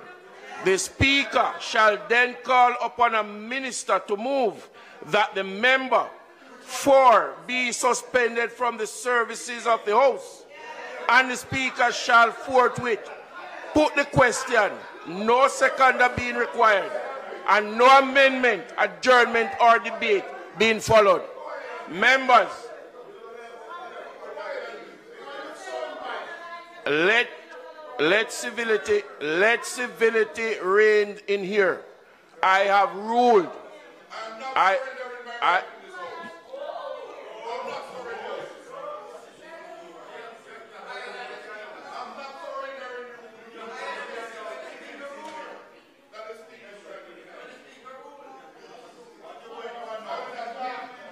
This, this is the last time.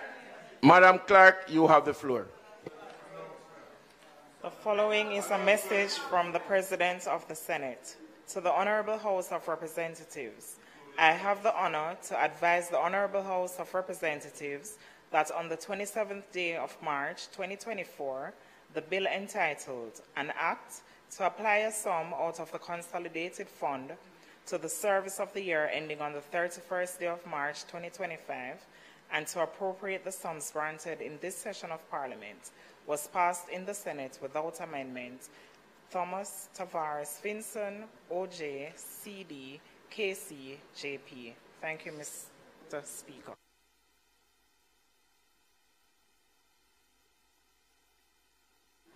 Mr. Speaker, I'm asked for, for recommitment of the item announcements. The question, question is that a recommitment to the item before announcement. Those in favor? Aye. Aye. Do, do,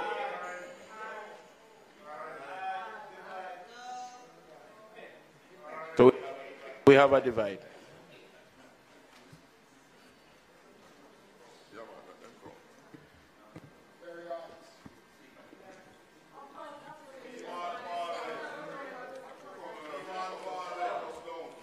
Mr. Bartlett, Mr. Brown, Brown. No, no, no.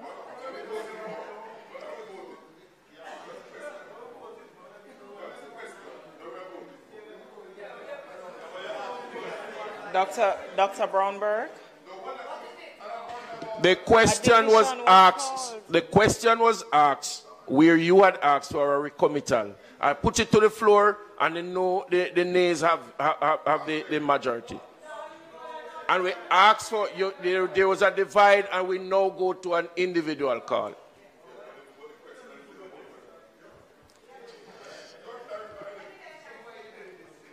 Dr. Brown Burke.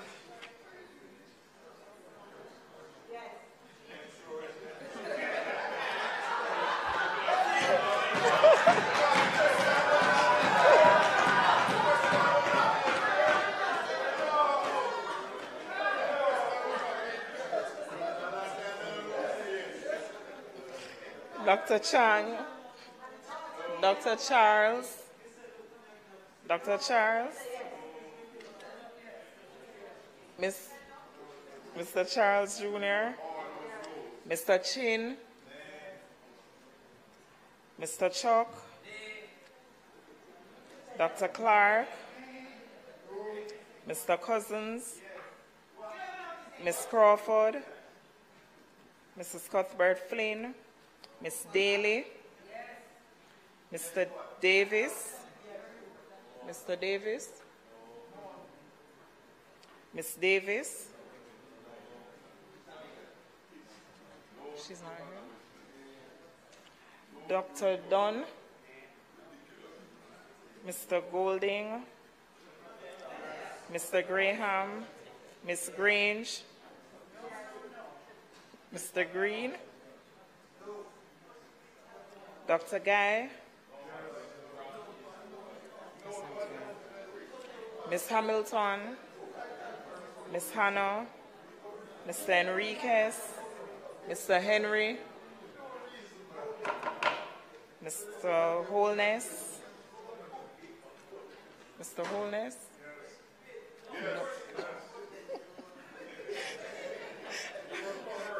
Miss Mr. Hutchinson, Mr. Hylton, Mr. Jackson, Mr. Lawrence, Mr. Lawrence, Miss Lee, Mrs. Malahoo Forte, Mr. Mayne, Mr. McKenzie, Mr. Miller, Miss Morrison, Mr. Montague, Mr. Morgan, Mrs. Neita Garvey, Mr. Paulwell, Mr. Phillips, Dr. Phillips, Mr. Mr. Robertson, Mr. Robinson, Mr. Samuda, Miss- Mr. Shaw, Mr. Sibblies, Mr. Slowly, Miss Smith, Mr. Terrelonge, Dr. Tufton, Mrs. Vaz, Mr. Vaz, Mr. Warmington, Mr. Wheatley, Mr. Williams. Hmm? Oh, oh, my apologies, Mr. Wheatley. Mrs. Williams, Mrs. Williams, Mr. Wilson, Mr. Whittle, and Mr. Wright.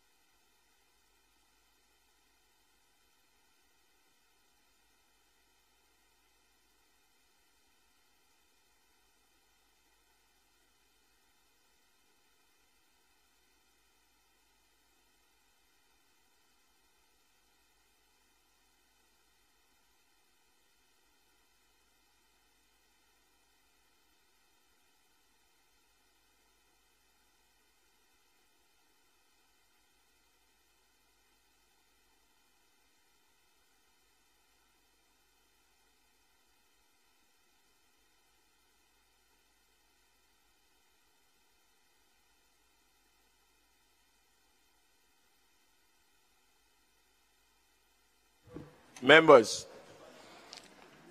as the vote was cast, seven yes, 31 no, 22 absent. The noes have it.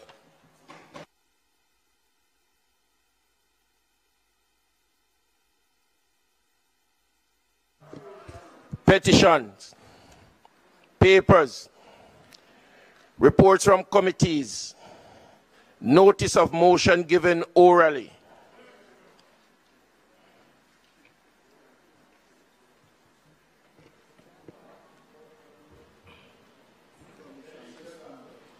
Mr. Speaker, permission to speak from a seat other than my own. You're granted. Mr. Speaker, on behalf of the Minister of Finance and the Public Service, I beg to give notice that at the next meeting of the House, I will move on his behalf to introduce and have read a first time a bill shortly entitled the Appropriation Amendment Act 2024.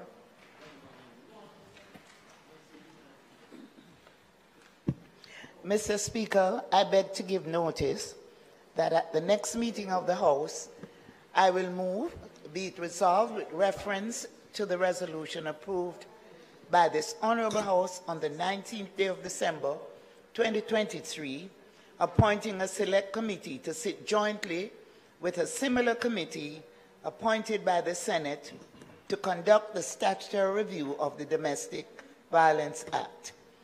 That the committee be allowed to hold hybrid meetings that are partly virtual and partly physical, utilizing available information and communication technologies in the manner more specifically outlined below. Preserving the rights, powers, and privileges, including voting rights, normally accorded to a member of a committee, the committee is hereby empowered to one, convene and hold meetings in virtual spaces created using information and communication technologies, which shall be considered committee meetings for the purpose of the mandate of the committee. Two, allow access and participation from remote locations as are enabled by means of information and virtual technologies by members and other persons authorized by the committee. Three, include members accessing and participating from remote locations as a part of its quorum. Four, receive, consider, deliberate on, and respond to feedback and submissions in formats, modes, and media, and via platforms, modes, and media enabled by means of information and communication technologies from any person. Five, consider any and all information generated, communicated, and received via formats, platforms, modes, or media as enabled by means of information and communication technologies as forming a part of the record of the committee's meetings.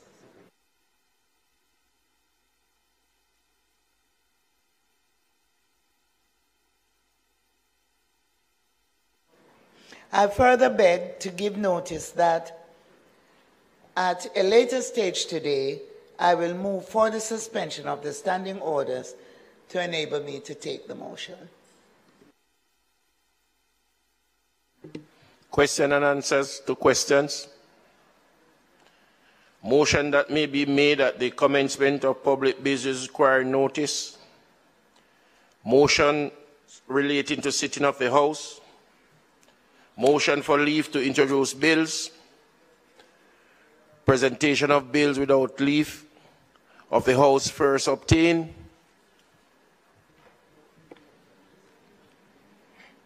Mr. Speaker, on behalf of the Minister of Finance and the Public Service, I now move for the suspension of the standing orders to enable me, on his behalf, to introduce and have read a first time a bill shortly entitled the Appropriation Amendment Act 2024. The question is that the standing orders be suspended to allow the minister to take the first reading of a bill shortly entitled the Appropriation Amendment Act 2024. Those in favour? Those against? The ayes have it. Mr. Speaker, on behalf of the Minister of Finance and the Public Service, I now move that a bill shortly entitled the Appropriation Amendment Act 2024 be read a first time. A bill shortly entitled the Appropriation Amendment Act 2024 read a first time.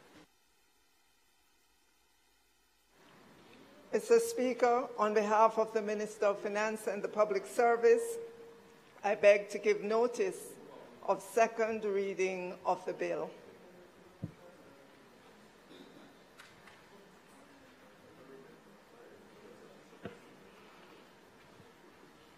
Mr. Speaker, on behalf of the Minister of Finance and the Public Service, I further beg to give notice that at a later stage today, I will move on his behalf for the suspension of the standing orders to enable me on his behalf to take second reading of the bill and to take it through all its concluding stages. Minister Grinch, public business. Public business, Minister Grinch. Mr. Speaker, I now move for the suspension of the standing orders to enable me to take the motion, notice of which I gave earlier.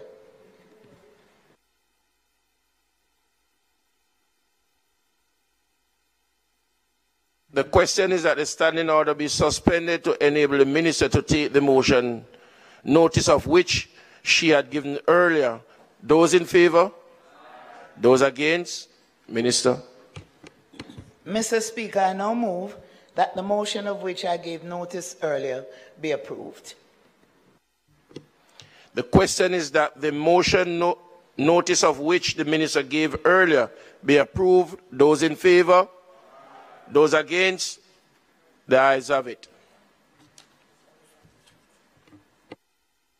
Minister Williams. Mr. Speaker, on behalf of the Minister of Finance and the Public Service, I now move for the suspension of the standing orders to enable me on his behalf to take second reading of the bill, notice of which I gave on his behalf earlier, and also for me to take it on his behalf through all its concluding stages. The question is for the standing orders to be suspended to enable the minister to take the second reading of the bill, notice of which she gave earlier, and ha- also for her to take it through all its concluding stages. Those in favor? Those against? Ayes have it. Minister.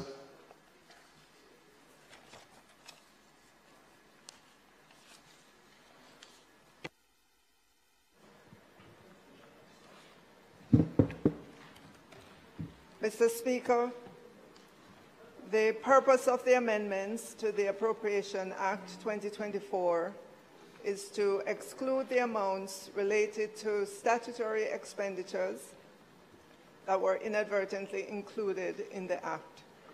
These amounts are shown in Table 1, which accompanies this brief, which represents a summary of the 2024-2025 central government expenditure budget as amended and approved by the Standing Finance Committee in March 2024. Mr. Speaker, the amendments are necessary as the Constitution stipulates that statutory expenditures shall not be voted on by the House of Representatives. Mr. Speaker, statutory expenditures are expenditures that are charged on the consolidated fund or on the general revenues and assets of Jamaica by virtue of provision in the Constitution or by virtue of the provisions of any other law in force. Mr. Speaker, the amendments are to enable compliance with Section 116.3 of the Constitution, which indicates that that amounts classified as statutory expenditure in the estimates of expenditures shall not be voted on by the House of Representatives and should therefore not be included in the Appropriation Act. Mr. Speaker, the amendments to the Appropriation Act 2024 do not affect the heads of estimates, which do not include provisions for statutory expenditures, neither do the amendments affect the aggregate 2024-2025 central government expenditure estimates of $1.341 trillion.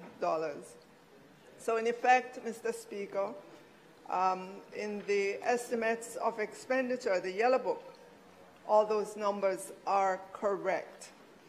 Mr. Speaker, the sections of the Act to be amended are 1. Section 2 to be amended to reflect the current aggregate voted sum, excluding statutory expenditures, of 817 billion 265 million $242,000 instead of 849 billion 896 million $471,000.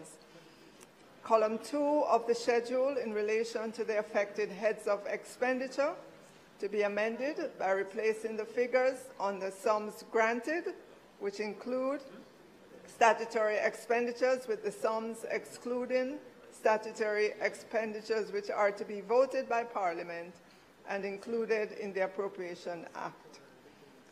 Mr. Speaker, the affected heads of estimates and the, sum, and the sums involved are as follows. So on the heads, His Excellency the Governor General and staff, the sum in the Appropriation Act 2024, including statutory provisions, was 532,852,000. The amended sum, excluding statutory provisions, is 149,664. Houses of Parliament, 2,439,963,000. The amended sum is 2,413,290,000. 413,290,000.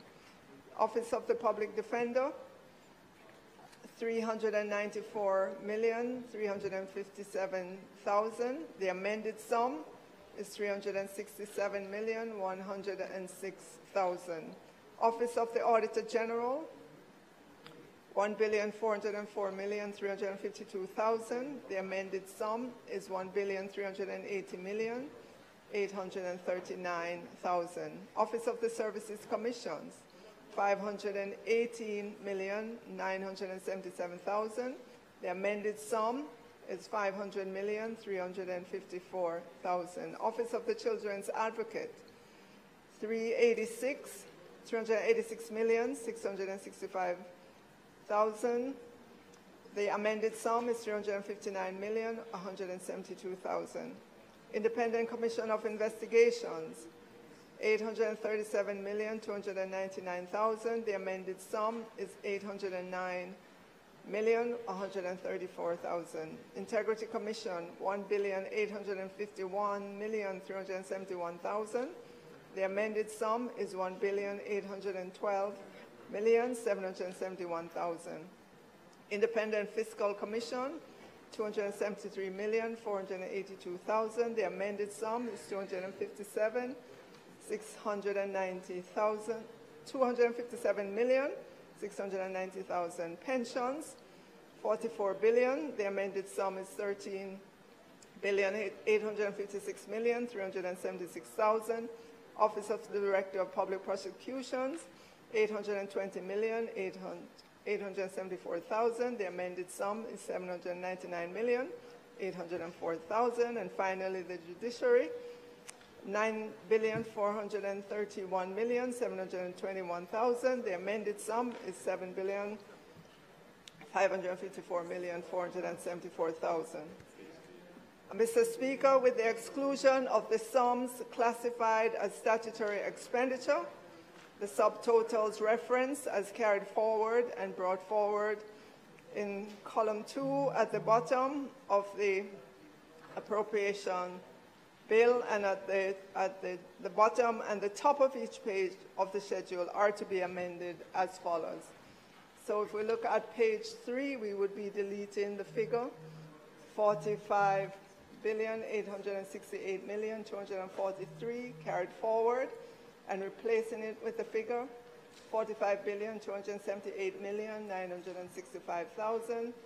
Page four, deleting the figure 45 billion 868 million 253,000 brought forward on page four and replacing with the figure 45 billion 278 million 965,000. On page four, deleting the figure 323 million 464,000. Uh, I'm sorry, um, 323 billion 464 million 312,000 carried forward on page four and replacing with the figure 292 billion 731 million 400,000. Page five, deleting the figure 323 billion 464 million 312,000 brought forward and replacing with the figure 292 billion 731 million 400,000. Page six. Okay. Page six, deleting the figure 454 billion 238 million and 39,000 brought forward and replacing it with the figure four hundred and twenty-one billion six hundred and six million eight hundred and ten thousand. Page six, deleting the figure seven hundred and ninety-nine billion thirty-four million six hundred and eighty-two thousand carried forward and replacing with the figure seven hundred and sixty-six billion four hundred and three million 453,000. Page 7, deleting the figure 799 billion, 34 million, 682,000 brought forward and replacing with the figure 766 billion, 403 million, 453,000. The total figure on page 7, representing total sum granted, is to be amended by deleting the figure 849 billion 896 million 471,000 and replacing with the figure 817 billion 265 million 242,000.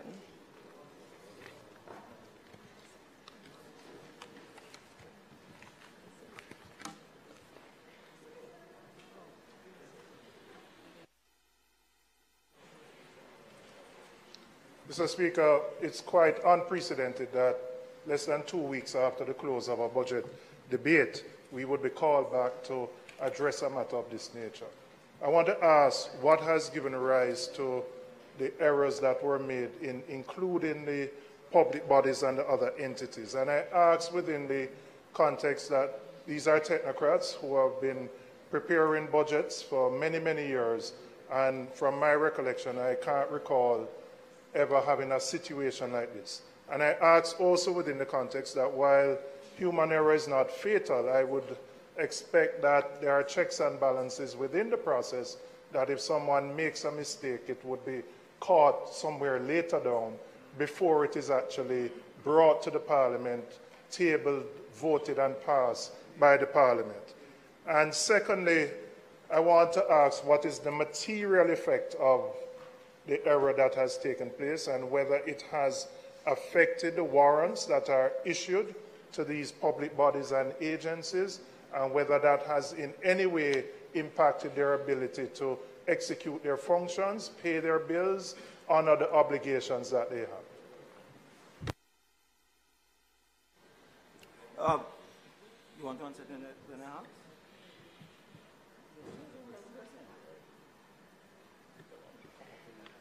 At the same time, Mr. Speaker, was this estimate expenditure reviewed by the um, Auditor General? I believe that she normally goes through, her department goes through this and send a report back to Parliament approving or making a recommendation. The question is, was this done by the Auditor General? And it was, if, whether, if it was done by the Auditor General, as done in all other cases, how come she didn't pick this up and send it back to Parliament? The appropriate person to have found this is the Auditor General. Is the Auditor General.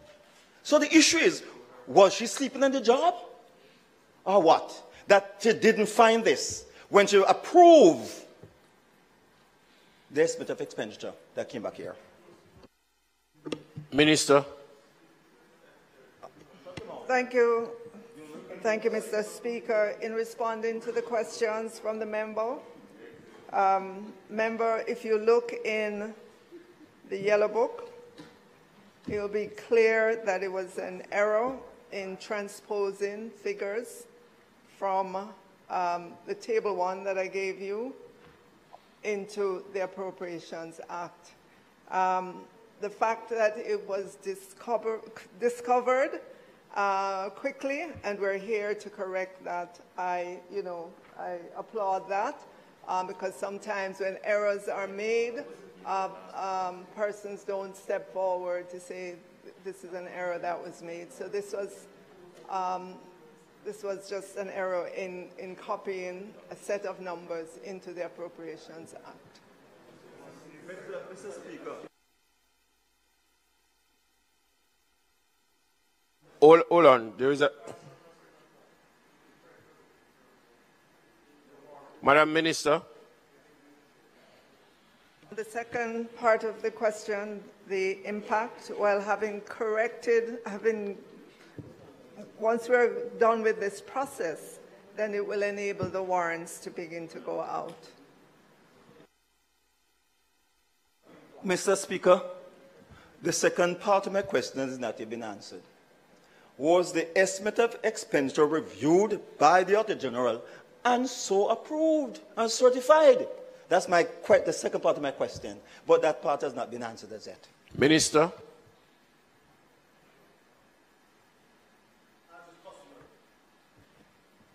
Mr. Speaker, the corrections are sent to the House by the Minister of Finance and the Public Service. Mr. Speaker, Mr. Speaker. With all, with all due respect, I ask a question and I, the minister who's tabling this should answer without being probed by anybody else and advise. It's a simple question I've asked. It's a simple question. She does not need advisors on this. Okay? It's customary for the Auditor General to go through the estimate of expenditure and send approval. Certification. The question I'm asking was that done by the Auditor General? If not, why? We broke the, we have, we have broken precedent. Minister. All right, um, Mr. Speaker, I'm advised that the Appropriation Act is not reviewed by the Auditor General. The Auditor General does not review the estimates. Thank you. Oh, mem- member, member, member, member, jo- mem- member. Member, I will give you your time, but the, the member, the other member was before you. I, I want to follow up on the second part of my question, and I asked about the impact of the warrants. We are at the 9th of April, and I assume now having the correction, and we'll go through the process of passing it. My question remains, what impact will this have? Because without warrants, they can't spend. They may have obligations um, salaries would be due in another week and a half. What impact will this have on any of the agencies that are affected by the error? Minister. Mr. Speaker, once we get through passing the appropriations, uh, the amendment to the Appropriations Act this afternoon, it will enable the Ministry of Finance and the Public Service to issue warrants to continue the work of the government. Um, Mr. Mr. Speaker, the, the, minister, the minister simply repeated the answer given before, which is not in, It's not a responsive answer to the question asked. My question is, my, I will ask the question in a different way. Can the minister assure the parliament that there is no adverse implication from this amendment or any liabilities arising therefrom? Minister. Thank you, Mr. Speaker. There is no adverse impact on the affairs of the government from doing this. Thank you.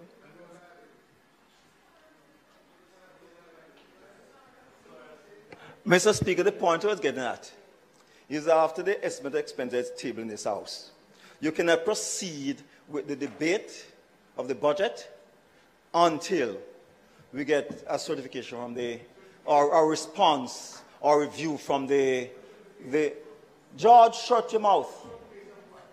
George Hylton, leave me alone. I am saying here, Mr. Speaker. All right, all right. I am saying. Stop. All right, I withdraw it. Okay. I withdraw it. I am saying, Mr. Speaker, the point is wait, man? that after the budget is laid in this House, you cannot press, commence the, the, the budget debate until after review of the Auditor General. That's what I was getting at, Mr. Speaker. That's all I was getting at. Any other comment? If there is none, Minister.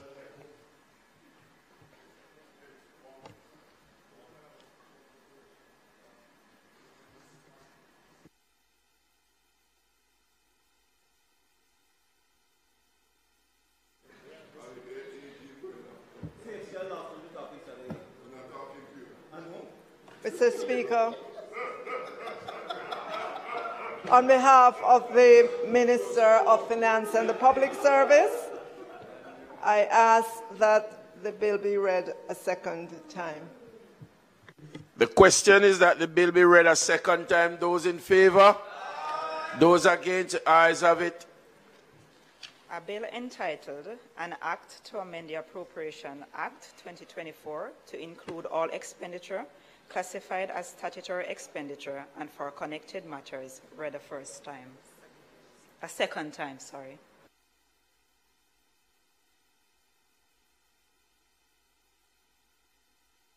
The House will now resolve itself into a committee of the whole House to consider the bill clause by clause. I put clause one. Those in favor? Those against? Ayes have it. I put clause two. Those in favor? Those against? Eyes have it. I put clause three. Those in favor? Those against clause, the ayes have it. I put the title and enacting clause. Those in favor? Those against ayes have it. The question is that I do report the bill as having passed committee stage without any amendments.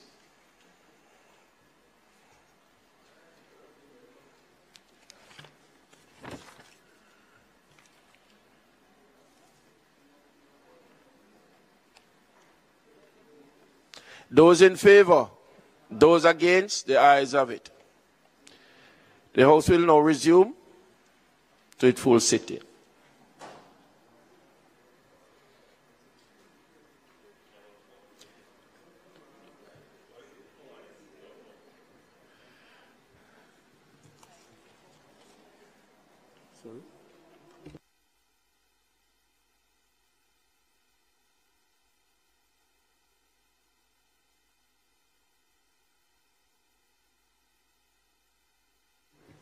I do report the bill as having passed committee stage without any amendments. Minister.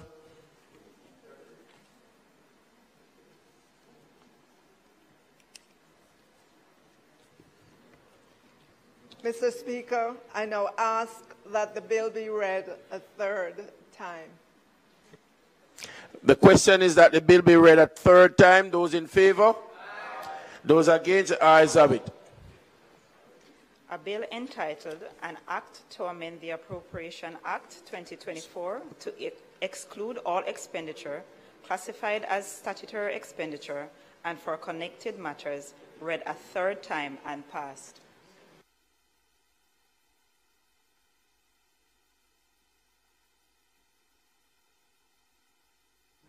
This House now stand. House Leader. Thank you, Mr. Speaker. It is not contemplated for us to do any further business today. I therefore ask that the House adjourns for a date to be fixed.